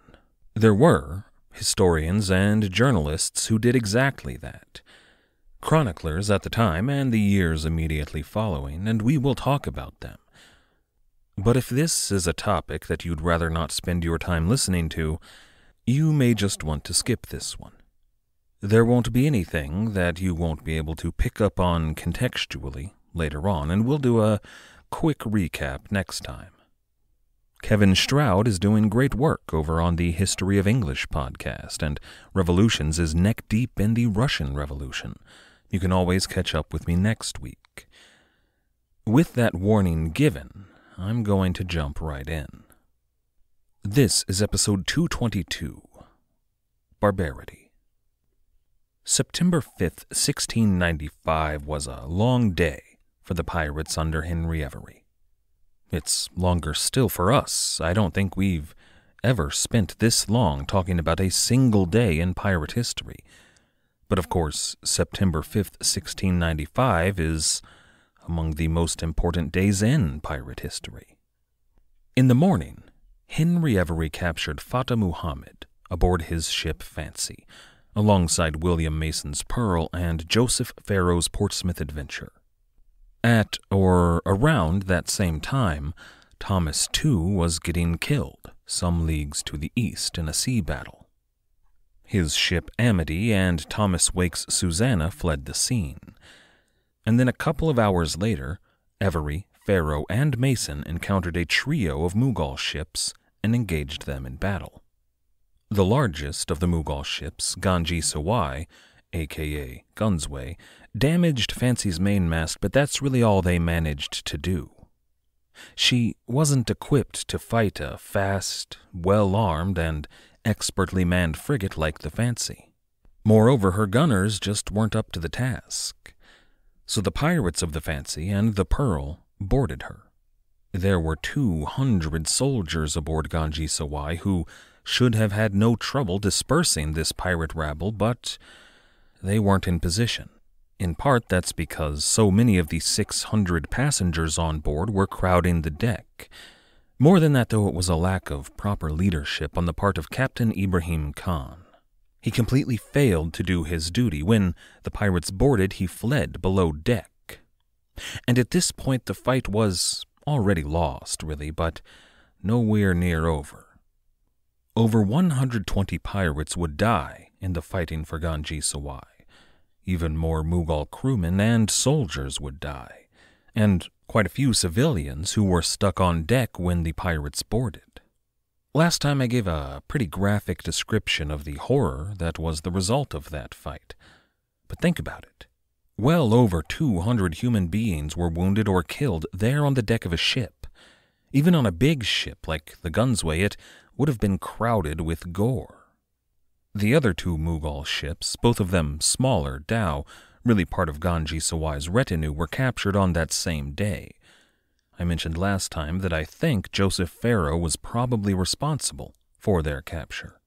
And that was almost certainly bloodless. If they carried any guns at all, they wouldn't have carried many. Portsmouth Adventure was probably just able to sail up, aim her guns, and accept surrender. They were supposed to be protected by Ganj-i-Sawai, but obviously that wasn't going to happen. By early evening, all six ships, would have been tethered together, and, you know, honestly, Fateh Muhammad was probably still there as well.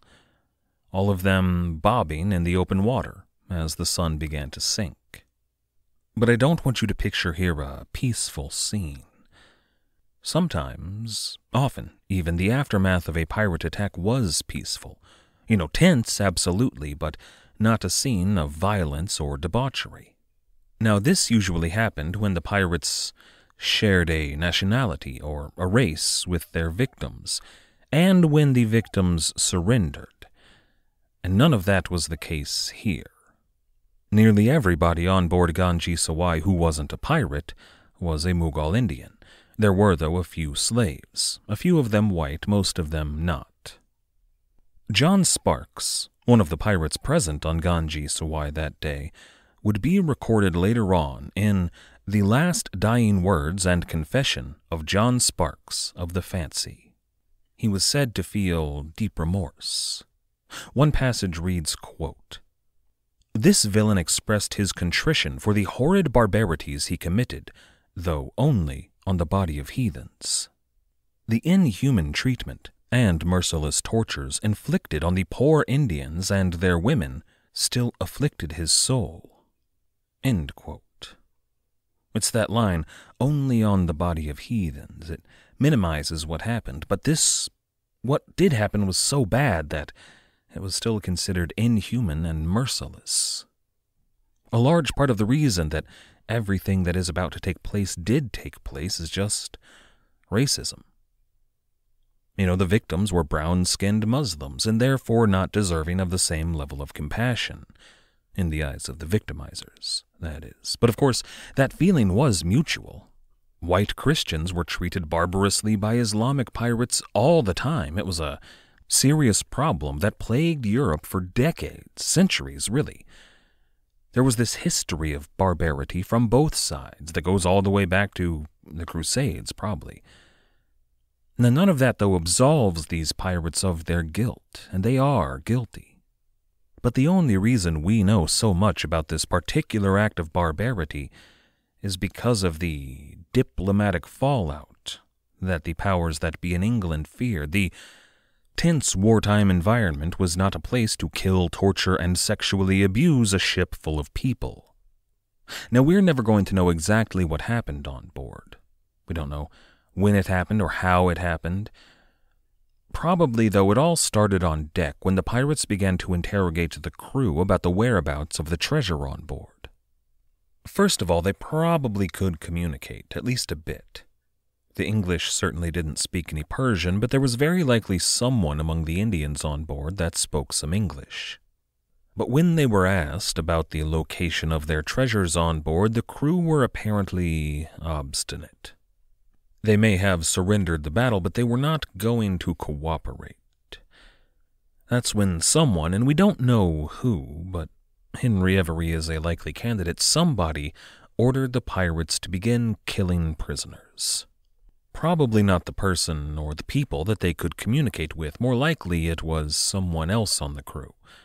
You know, oh, you don't want to answer? Well, how about I kill a few of your friends? That, though, didn't seem to have much effect either. They still wouldn't talk. And that's when the torture began. Now, I, and a bunch of historians, have some beef with the government of England in 1696. Months after the attack on Gunsway, several of the crew of Fancy were put on trial. Now, we're not going to delve into that today. There's a whole episode about jury trials in England and your future, but that trial did not go as planned. Jury trials were the norm in England, and even though this trial was for all of the barbarous acts we are talking about today, the pirates were found not guilty. The jury turned out to be sympathetic, a bit anti establishment, maybe. They'd been gobbling up all of those songs and poems about Henry Avery, and they weren't liable to convict them for crimes against the Turk. That's not how the court expected the trial to go. Really, it's not how it should have gone. The evidence was overwhelming, but the jury liked the pirates. And really, there was a good argument here. There wasn't any evidence that the pirates on trial were actually involved. One of them was old and sick, another one was a young boy. It's not exactly who you picture in that situation, torturing, murdering, and raping. But the court disbanded, and then, and here's the real sin, they threw out the court records, just got rid of them. They don't exist anymore. What I wouldn't give to have a copy of those court records. There's a whole episode about government manipulation of public perception in the future as well, but that means that we don't know what the pirates had to say about their crimes on that day. We just don't have much detail here. Now, we have a great deal of detail about the mutiny on board Charles II some months earlier.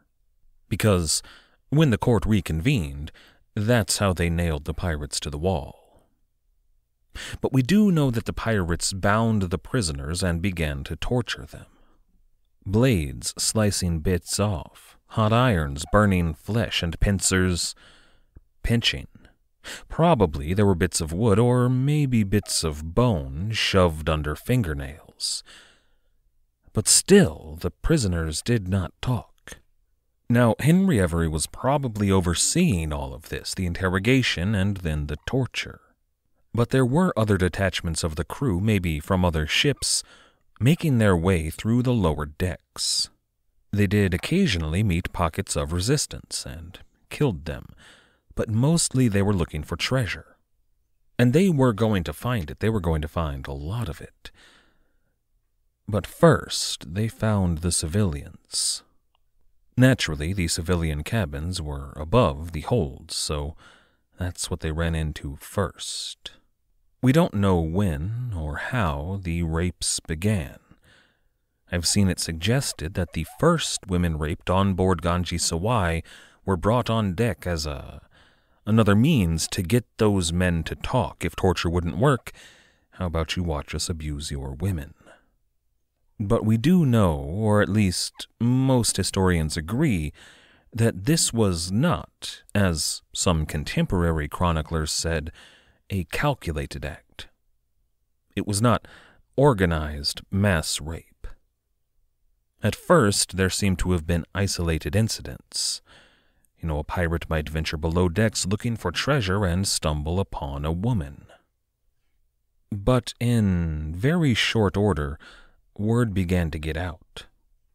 There were women down below. At first, a few pirates began to slip down there, then a flood.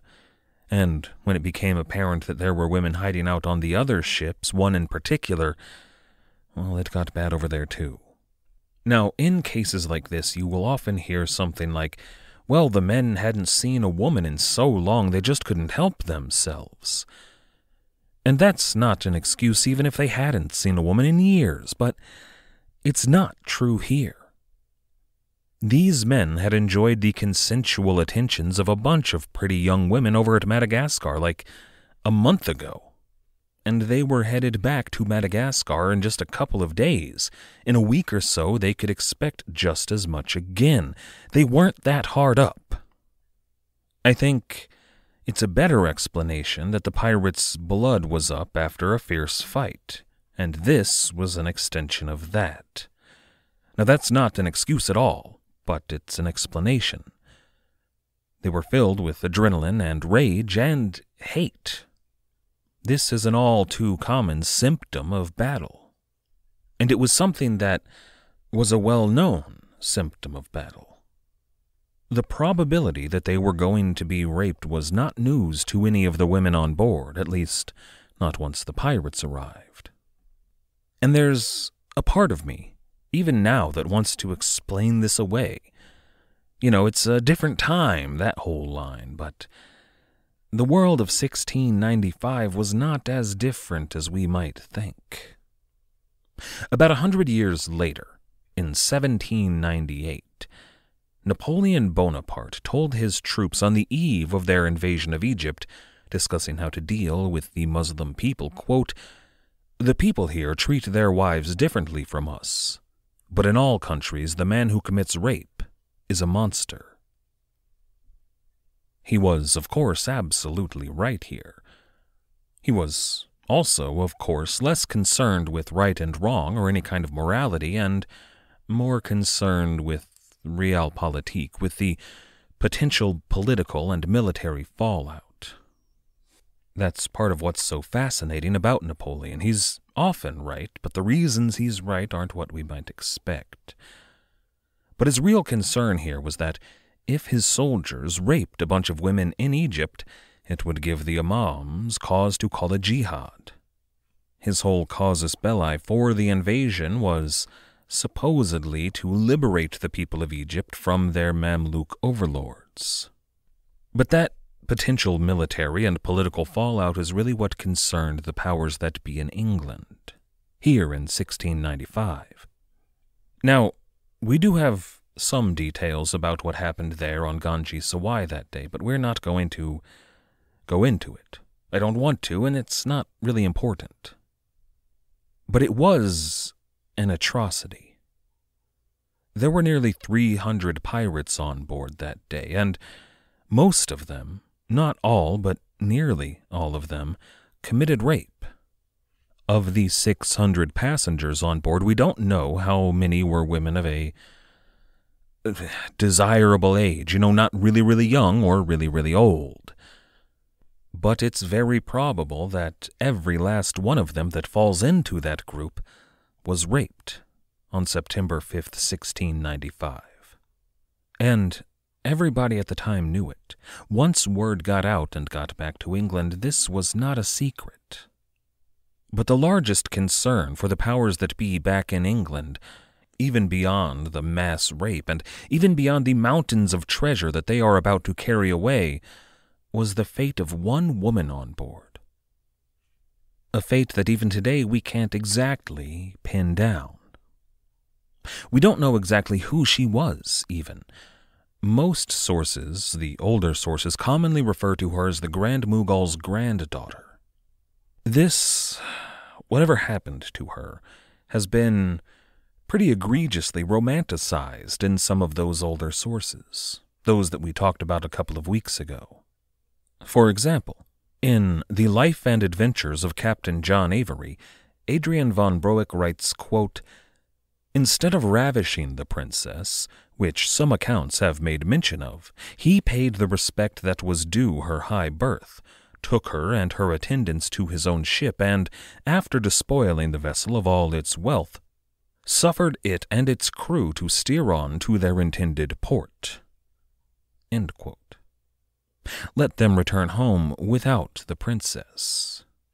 This source is saying that he well, not kidnapped her, not in this source. No, she was enamored with this dashing English pirate and willingly became his wife at Madagascar. And there they ruled as king and queen of the island. Now, none of that happened. But it was part of the core mythology of Henry Every for centuries. Daniel Defoe, in The King of Pirates, gives a different account. He writes, quote, when my men had entered and mastered the ship, one of our lieutenants called for me, and accordingly I jumped on board. He told me he thought nobody but I ought to go to the great cabin, or, at least, nobody should go there before me. For the lady herself and all her attendants was there, and feared the men were so heated that they would murder them all, or do worse. I immediately went to the great cabin door, and caused the cabin door to be opened, but such a sight of glory and misery was never seen by buccaneer before.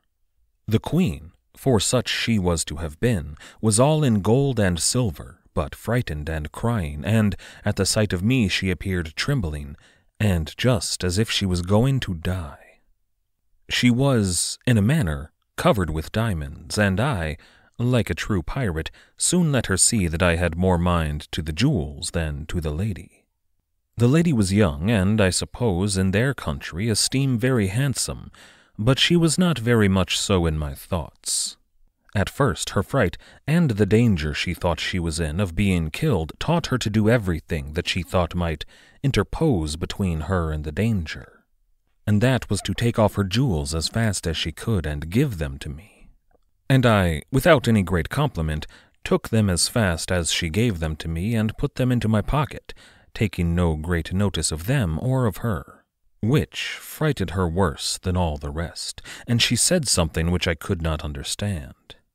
I have read that it has been reported in England that I ravished this lady, and then used her most barbarously, but they wrong me, for I never offered anything of that kind to her, I assure you. Nay, I was so far from being inclined to it that I did not like her, and there was one of her ladies who I found much more agreeable to me, and who I was afterwards something free with, but not even with her either by force or by way of ravishing. We did indeed ravish them of all their wealth, for that was what we wanted, not the women. Nor was there any other ravishing among those in the great cabin, that I can assure you.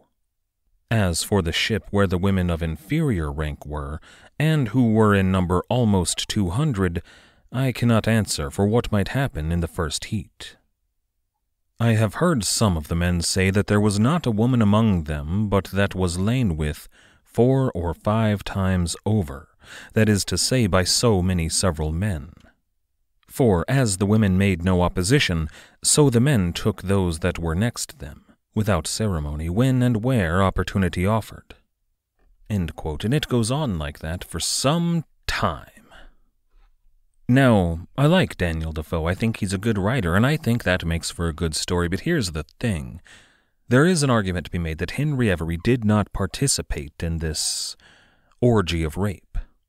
He may have even tried to put a stop to it, but it was a futile attempt.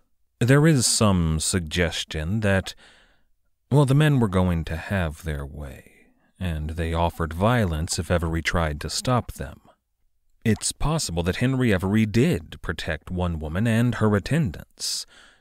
Now, this one woman was probably not the young and beautiful granddaughter of the Grand Mogul, but instead an elderly member of the Grand Mogul's court. At no point does any source I've read say that it was Aurangzeb's younger sister, but I've also not read any source that said it wasn't. And she is the most prominent elderly member of Aurangzeb's court. And she probably would have, at some points in her life, accompanied members of her family to Mecca. One of the Mughal historians who hated the English outside of this particular episode, but he hated them more for it. Even he had to admit that this elderly member of the court, whomever she may have been, was protected from outright harm on this cruise. But it's that bit about none of the other women in the great cabin were harmed that's just not true. Her younger relatives, her nurses, and all of the other women in her retinue were not protected. The scene there was no different than anywhere else on the ships rape and violence. And there's a bit in that passage from Defoe that says the women offered no resistance, and that, that's bullshit. Many of the women fought, and some of them even managed to escape their suffering, but not in a way that we might wish. They killed themselves. A large number of women, before the pirates had visited them, jumped into the water. Not with any hope of escape, there was no land in sight. They dove deep and they filled their lungs. They drowned themselves to escape the pirates. Others especially of a higher birth, opened their own veins before the pirates arrived. Most, though, were unable to avoid the pirates, but even some of those fought. There are accounts of several women on board who were actively being raped, that grabbed the saber of the pirate and stabbed themselves through the heart. And you might think, why didn't they stab the pirate? but there were more pirates waiting behind him. It would have done them no good. This was the best way to escape and, in the culture of their time and place, to salvage some of their honor. It was, as we have said, barbarity. And this went on all night, across all three ships, well, really just two ships. One of the vessels carried mostly supplies, very few passengers, crew, and wood, water, and food.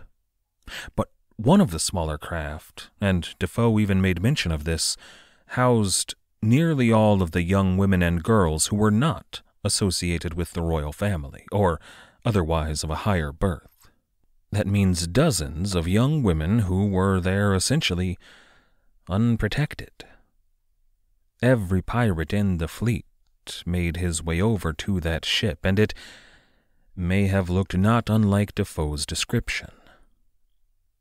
Come morning, though, the pirates finally were sated and they got back to work. They began the process of transferring all of the gold and the silver and the precious stones and the dyes and the spices and the silk and the slaves, which there were quite a few of. Nobody knows exactly how much was taken here.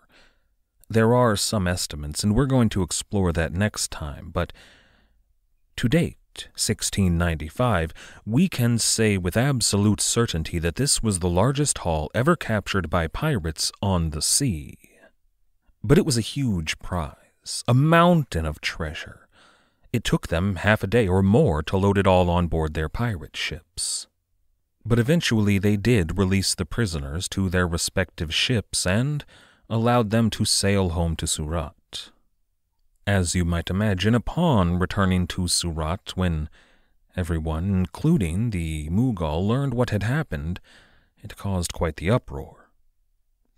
The pirates sailed back to Madagascar, but they didn't stay long. They knew that there would be pirate hunters from Surat and other ports of India chasing them. Still, it was some weeks before England learned of what had happened. Among the very first people in England to learn of it was the king. A representative of the East India Company arrived, and it turned out that he had escaped, barely escaped with his life, the siege of Bombay that the Grand Mughal had ordered. They were at war with Mughal India. But William III acted fast. He was going to do everything he could to forestall further conflict he drafted a letter to Aurangzeb guaranteeing him retribution. The men responsible would be captured and killed. Beyond that, King William III offered to pay losses in treasure and suffering to Aurangzeb. That is a chapter in and of itself. But at this moment, before the East India Company or the Royal Navy could mobilize, King William III needed a response. Something to show that he was serious and something that might actually get the job done. At that very moment, not entirely coincidentally, there was a delegation from New York City at court in London. And King William turned to that delegation. Indeed, there was a man among them who knew exactly how buccaneers operated, who personally knew Thomas Tew. Almost as soon as he learned what had happened in the Indian Ocean, William III signed a commission for Captain William Kidd to hunt these pirates down.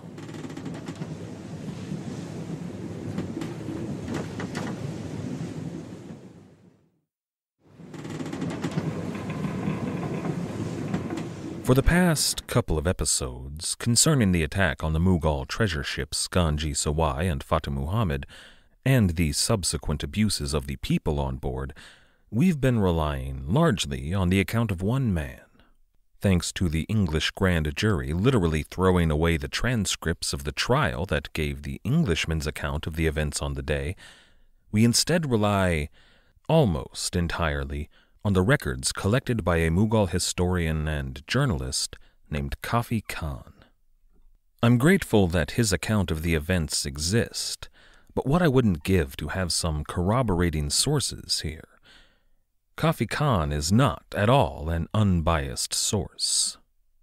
He hated the English, and you know it's hard to blame him. England was in the process of a very slow invasion of India. Kafi Khan was of the opinion that the Mughal were the rightful foreign imperial overlords of the Indian people, didn't like that the English were moving in on their territory. His father had been an imperial historian that worked for the royal family, and Kafi Khan had aspirations to follow in his father's footsteps. But as yet he had not earned that distinction. He did work for the royal family as a, a messenger, which is nothing to scoff at, carrying the emperor's messages, but it wasn't what Khan wanted for himself. In his spare time, he was writing a comprehensive history of the Mughal Empire, which he did finish, and it's an excellent early source on their history. But it was not yet completed in September of 1695. At the time, he was on a mission for Aurangzeb, carrying letters and missives from the capital at Delhi to Surat, then he'd travel on to Bombay, where he'd have to deal with the uh, English, but then he'd go back to Delhi. While he was in Surat, though, rumors began to spread of an attack out on the ocean, and a few days later, a small group of haggard, damaged ships arrived there at port. One of them clearly belonged to the imperial royal family, and as representative of the emperor, he investigated and he was shocked at what he found. This is episode 223 Spoils. Ganj-i-Sawai and her retinue arrived in Surat on September 12, 1695. A week after Henry Every and the pirates let them go. Now, that would not normally have been a voyage of a week, but they were badly damaged. Kafi Khan took it upon himself to speak to the victims of the attack to gather evidence and take down their statements. We don't have those original statements, but we do have what Kafi Khan tells us about them. However, the picture he painted of what happened on the day of the attack is not 100% accurate. Naturally, as a good and patriotic Mughal correspondent, he was going to lie through his teeth about anything that made the Mughal Empire look even moderately bad. First, and the easiest to quantify for us, were the numbers of troops and the losses in battle. In Khan's version of the story, three very large English pirate ships arrived on the scene and bombarded the Ganj-i-Sawai with overwhelming firepower. They were really just impressive titans of the sea that looked suspiciously like the East Indiamen that the East India Company uses in their trading fleets, my lord. Those three massive pirate ships vomited 1,500 wild eyed barbarians onto the deck of Ganj-i-Sawai, men who opened fire, killing in their opening volley almost exclusively women and children. At which point the 200 brave defenders of the Mughal ship drew their swords and stood for a staunch defense.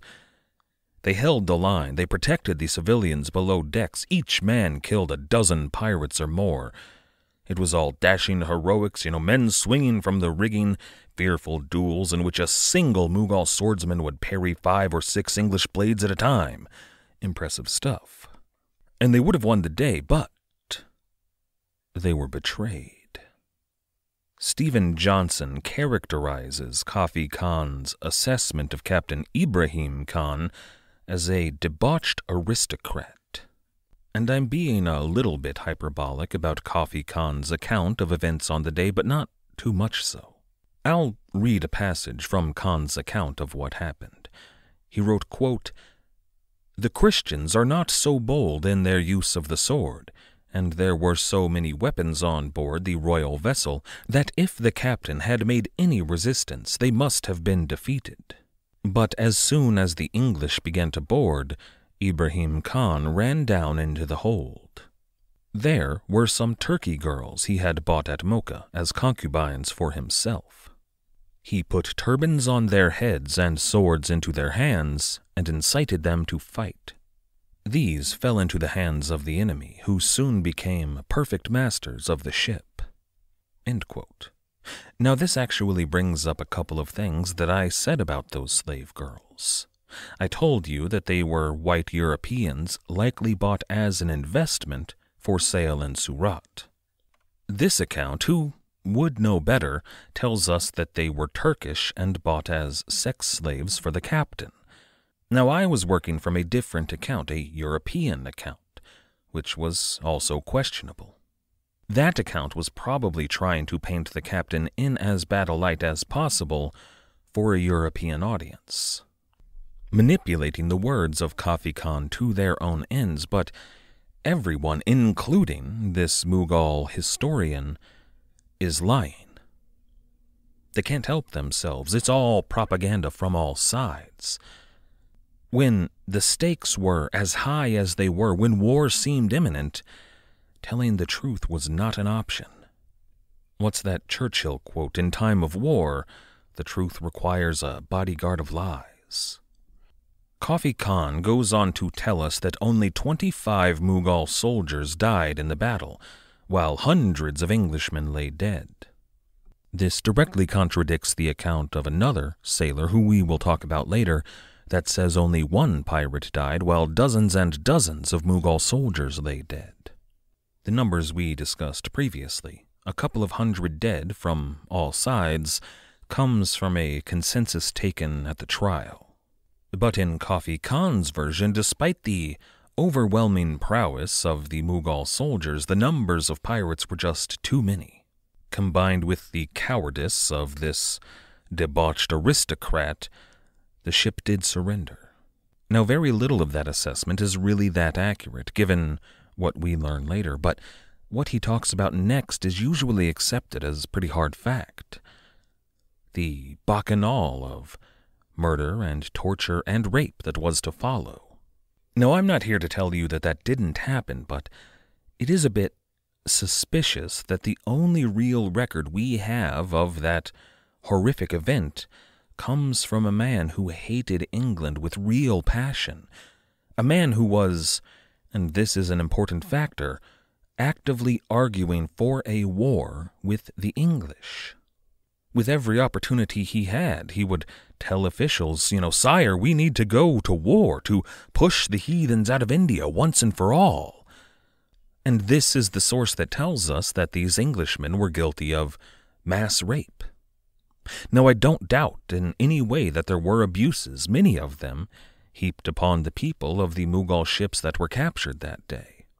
All of them terrible, all of them criminal, but were they what Kafi Khan tells us they were?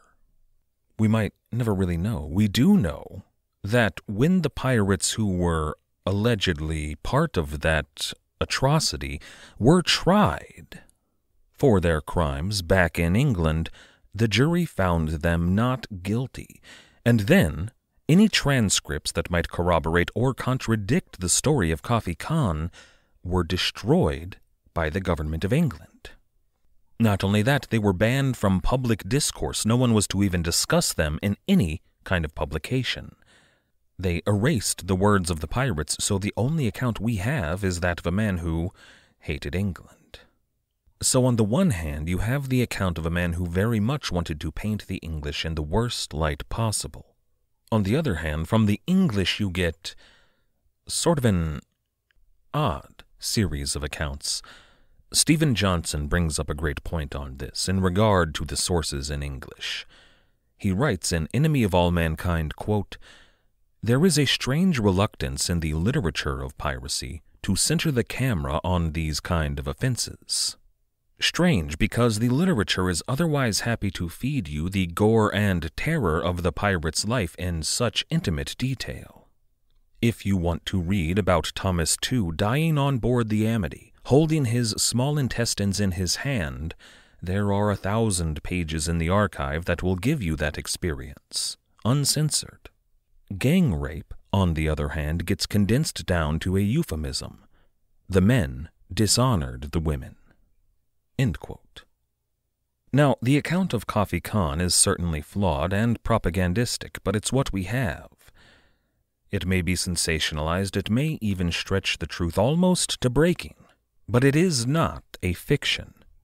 The pirates did torture, murder, and rape there on the Ganj-i-Sawai, and of course steal, but what really matters isn't what the truth was, it matters what the truth was believed to be, because that is what people reacted to.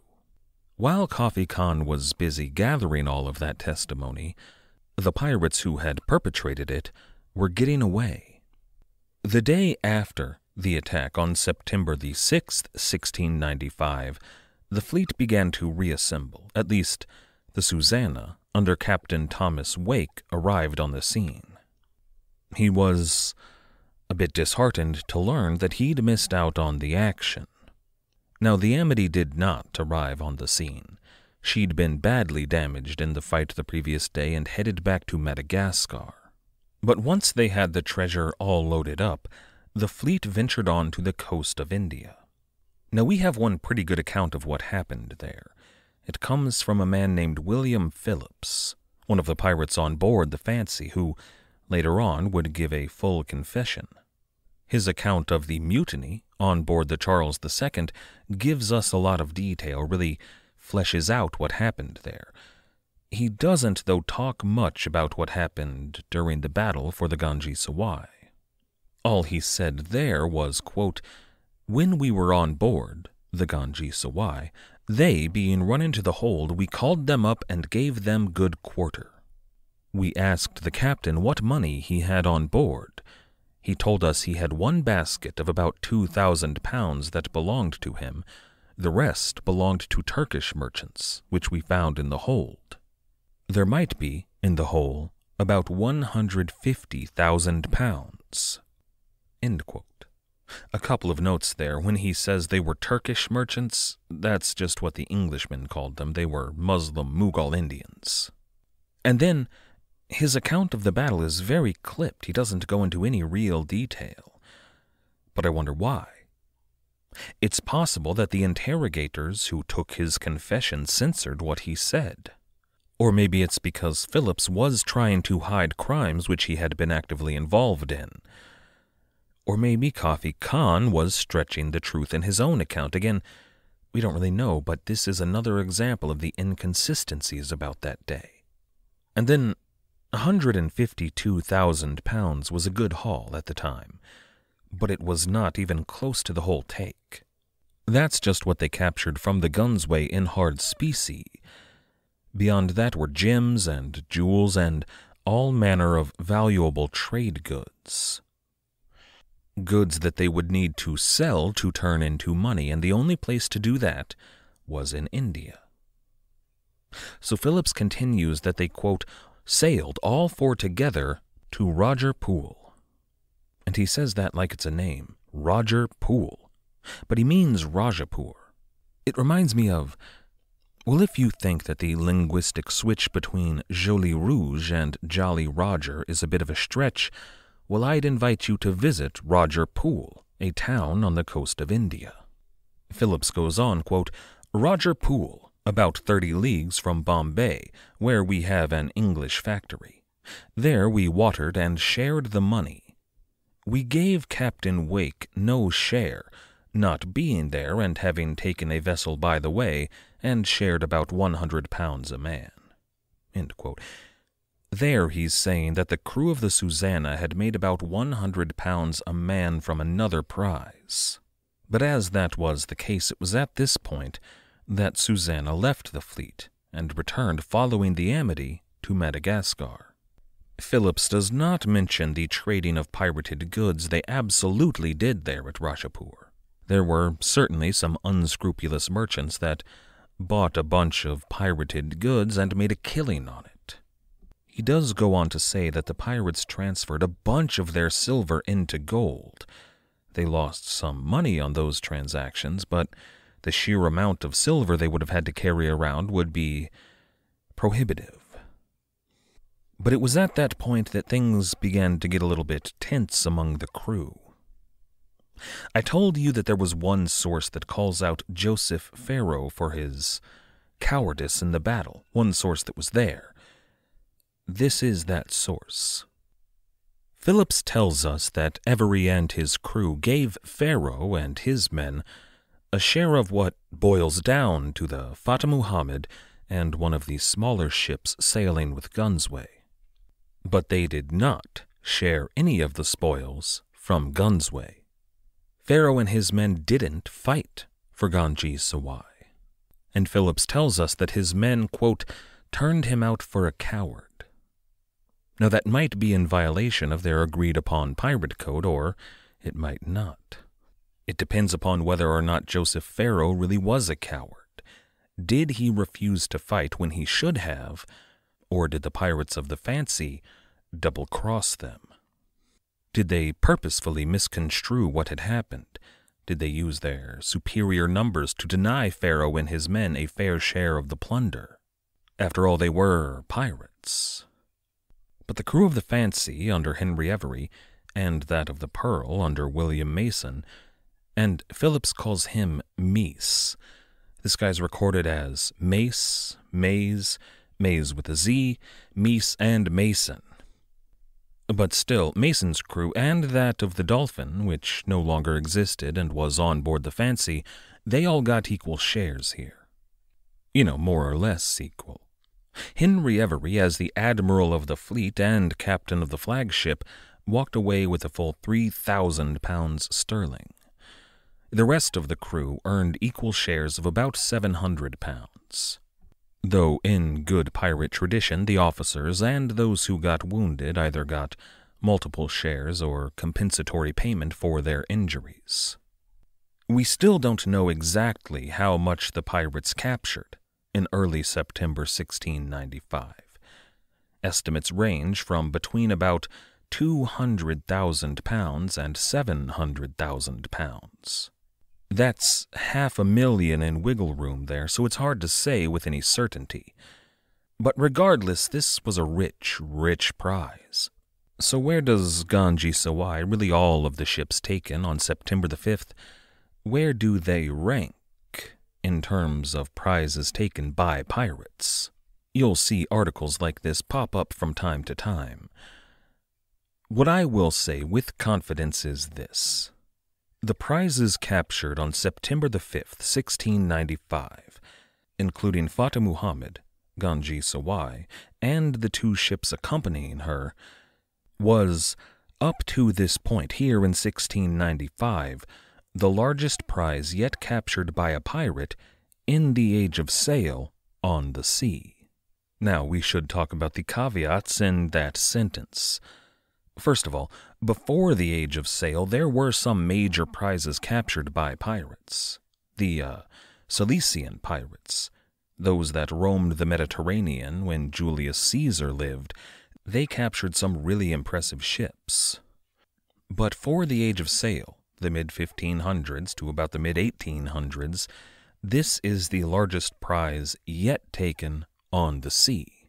There are two occasions on which larger prizes were captured by privateer, buccaneer, pirate ish people, but both of those were on land. First, there's Francis Drake's capture of the Spanish mule train at Nombre de Dios in 1572. Nobody knows how much he captured, but of course, he couldn't carry all of that silver to his ships. He had to bury a ton of it all around Panama and give a lot of it away to his Indian allies. The amount that he was actually able to carry home was a fraction of what he stole.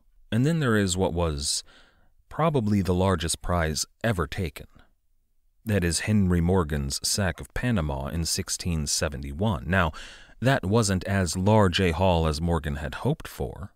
The Panamanians had put most of their treasures on a ship and sailed it deep into the Pacific. Morgan was never able to track it down. But he still carried away more money than anyone else ever had or probably ever would. Problem is, he had about 2,000 men with him. When they divided it all up, per man it was smaller than average. And then in the future, there are going to be two prizes that are going to give Henry Every here in September 1695 a run for his money. Both are large, and we'll talk about those when we get to it. There's an argument to be made that neither of them beat Henry Every's take here on this single day. However, when we consider their total career wealth, those pirates will have made significantly more than Henry Every. Still, though, for now, in 1695, Every is undisputably number one. It was a bit of vindication for Henry Every. He'd predicted that they would find the richest prizes in the world in the Indian Ocean. That's why his men and those other ships followed him. And they'd found the Ganj-i-Sawai, a name that literally translates in English to exceeding treasure. Henry Every had been absolutely right. They had made more money than any pirates in history. Quite an achievement indeed. But all of that money and the abuses which had been heaped upon the victims did paint a target on the backs of the pirates, the largest target in the world. And the pirates knew it. Once they were done dividing up the loot, they scattered to the seven winds, as it's said.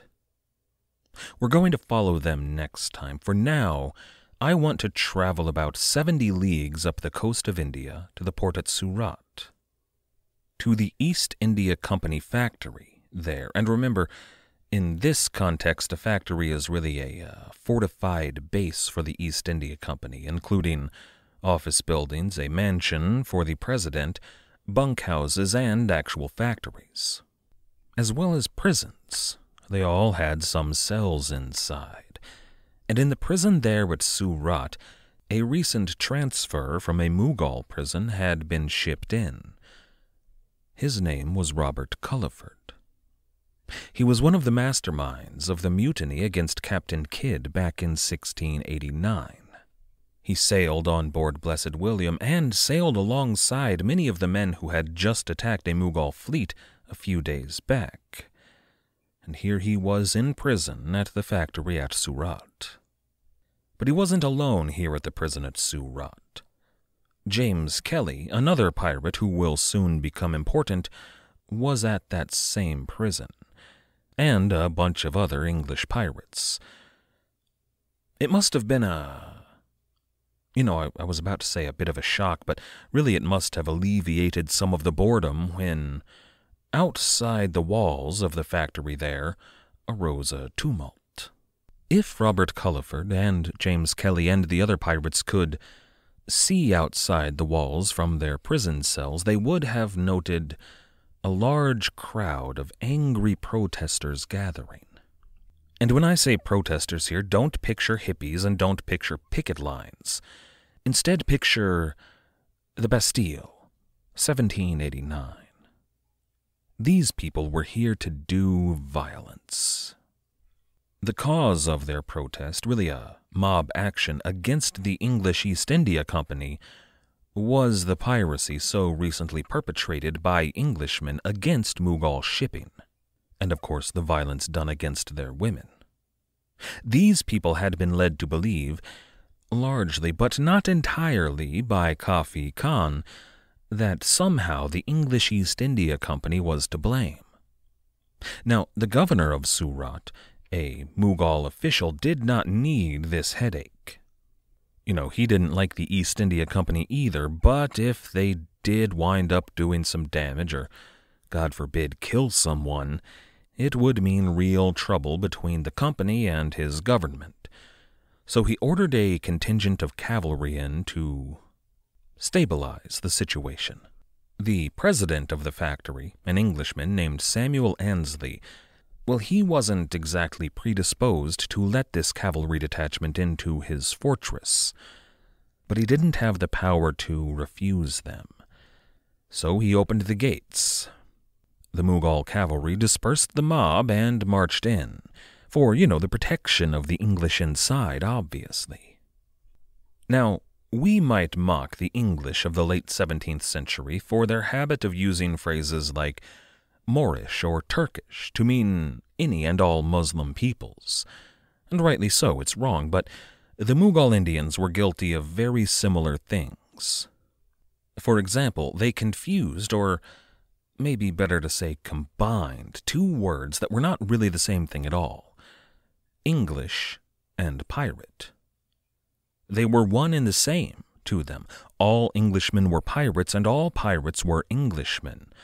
You know, maybe some French or Dutch pirates were causing trouble, filthy Englishmen. In fact, there was a Dutch rover just a few years prior who had been causing them some trouble. Mughal authorities did finally capture him and bring him to trial, but the Mughal officials demanded that the English East India Company answer for his crimes. It was a whole thing. The Englishman would try to explain that, look, this guy's Dutch, we're English. And then the Mughals would turn around and be like, yeah, but your king is Dutch, so aren't you Dutch now? And they'd be like, well, yes, he is, but no, we aren't. It was, it was a problem. But that means that when Annesley heard about this piracy in the Indian Ocean, allegedly perpetrated by Englishmen, he knew immediately to bring all of his agents into the factory. Everyone out in the field was recalled. Now, a few of them didn't make it. Some Englishmen were caught out and killed out there. It became clear almost immediately that this situation was very dire. The mob was eventually dispersed, but should the Grand Mughal decide to move against the English East India Company, well, these men would be killed. Probably by the cavalry that they let into their fort and as soon as the Mughal heard what had happened, he did indeed move against the company, but not in Surat, in Bombay to the south, their center of power. We're talking about uh, an army moving against the company. Now, the president of that factory, kind of the head of the East India Company in India, a man named Sir John Gayer, wrote a letter to the governor of his province and to Aurangzeb. And it's worth quoting here. Gayer writes, quote, How often have we been falsely charged? Nay, how often hath it been proved so, and yet upon every fresh alarm of a pirate on the coast, all is still laid upon the English. Hath it not been sufficiently proved that that rogue that did so much mischief for two years, that Dutchman, all which was falsely charged on the English, was done by people of another nation, and not the English? But of course he had to know that these pirates were Englishmen. He probably knew Henry Every's name. So he goes on, and we further say, suppose it should be proved there is English pirates in the seas as well as other nations. Is the English East India Company to be charged with their crimes? How unreasonable a thing would that be? Has not the great king of Hindustan, he means Aurangzeb, many pirates on his own coast of his own subjects that robs and plunders the vessels of his own, as well as the subjects of others, notwithstanding all the care he takes to prevent it. He goes on, Can it be imagined, if we were guilty of such horrible crimes as is laid to our charge by vile, and unreasonable men as to rob the king's ships and bring their money so robbed to Bombay, that we should at the same time send a ship of so considerable cargo to be landed at the king's port, he means Surat, and supply his subjects with so large a quantity of guns. There at the end he's making mention of a mission he did, a goodwill mission after news of Henry Every's piracy had arrived, to arm the people of Surat against further piracies. His letter, I mean, it's mostly right, it makes good points all around, but it did no good at all. See, the Mughal officials there in India had a very strong piece of evidence against them. At least they thought so. They had in their possession a copy of an open letter written by Henry Every himself, addressed to every Englishman in the world, announcing his intentions to attack Mughal shipping. To officials there in India, that's all the proof they needed evidence of collusion, clearly. And it didn't help the case of the English that there were actually some mm, privateers docked at the factory in Surat. Mostly they were Dutch, but the Mughals couldn't tell the difference there, and really they were only one step above pirates. A small step. They very nearly got caught up in this whole kerfuffle, too because within just a few days the Mughals dropped the facade here. The Englishmen of the factory at Surat were arrested and put into chains and put into their own cells. One of those Dutch ships almost got seized, only barely managed to escape and made her way to Bombay to inform the president of the factory there what had happened. Now, Gayer moved fast. He wanted to forestall any executions and therefore a probable war. He bought some time with a flurry of letters to men of import all over India, all of them basically saying, Wait, stop, don't do anything rash, we can figure this out. I just need to talk to the king. You don't want a full scale war here. Mughal officials made no move to provoke the English, but also no favorable response. They did not release those Englishmen in prison at Surat, and Gayer in fact had to smuggle one of his men out on one of those Dutch ships with orders to go to England and tell King William what was happening there. That mission would be a success, but for the moment, back in that cell in Surat, with Robert Culliford inside, one has to wonder Considering the limited number of cells in any one of these factories and the large number of men that were currently residing within, who might have been imprisoned close enough to Robert Culliford to talk a bit, have some conversations about their current situation and Robert Culliford's resume. We don't know anything here, officially speaking. Officially speaking, Robert Culliford would escape that prison in just a couple of months, along with James Kelly and virtually all the other pirates who were there. I can't help but wonder what if he didn't escape? What if Robert Culliford was set free? What if, given the precarious position in which the East India Company found itself and the delicate diplomatic line they were forced to walk, unable to act in any kind of official capacity against the Mughal Empire. What if they decided that they needed a kind of private, secret naval mercenary corps? Men who knew their business that would be based out of somewhere not too close by, maybe, I don't know, Madagascar men who would be able to prosecute a kind of shadow war against the Mughal navy, led by a man who Captain William Kidd, who was beginning to outfit his ship for his journey to this region, a man that William Kidd personally hated. And that's where we're going to leave it today. Next time, we're going to visit St. Mary's Island off the coast of Madagascar and discuss the revolving door of pirates that were going to make their way to that island in the months to come. I'd like to thank everybody for listening. I'd like to thank everybody who has helped to support the show. all of our patrons on Patreon, everybody who has left us ratings or reviews, and everybody who has recommended this show. You all make it possible. Thank you. Our theme music was, as always, The Old Captain by the fantastic band Brillig.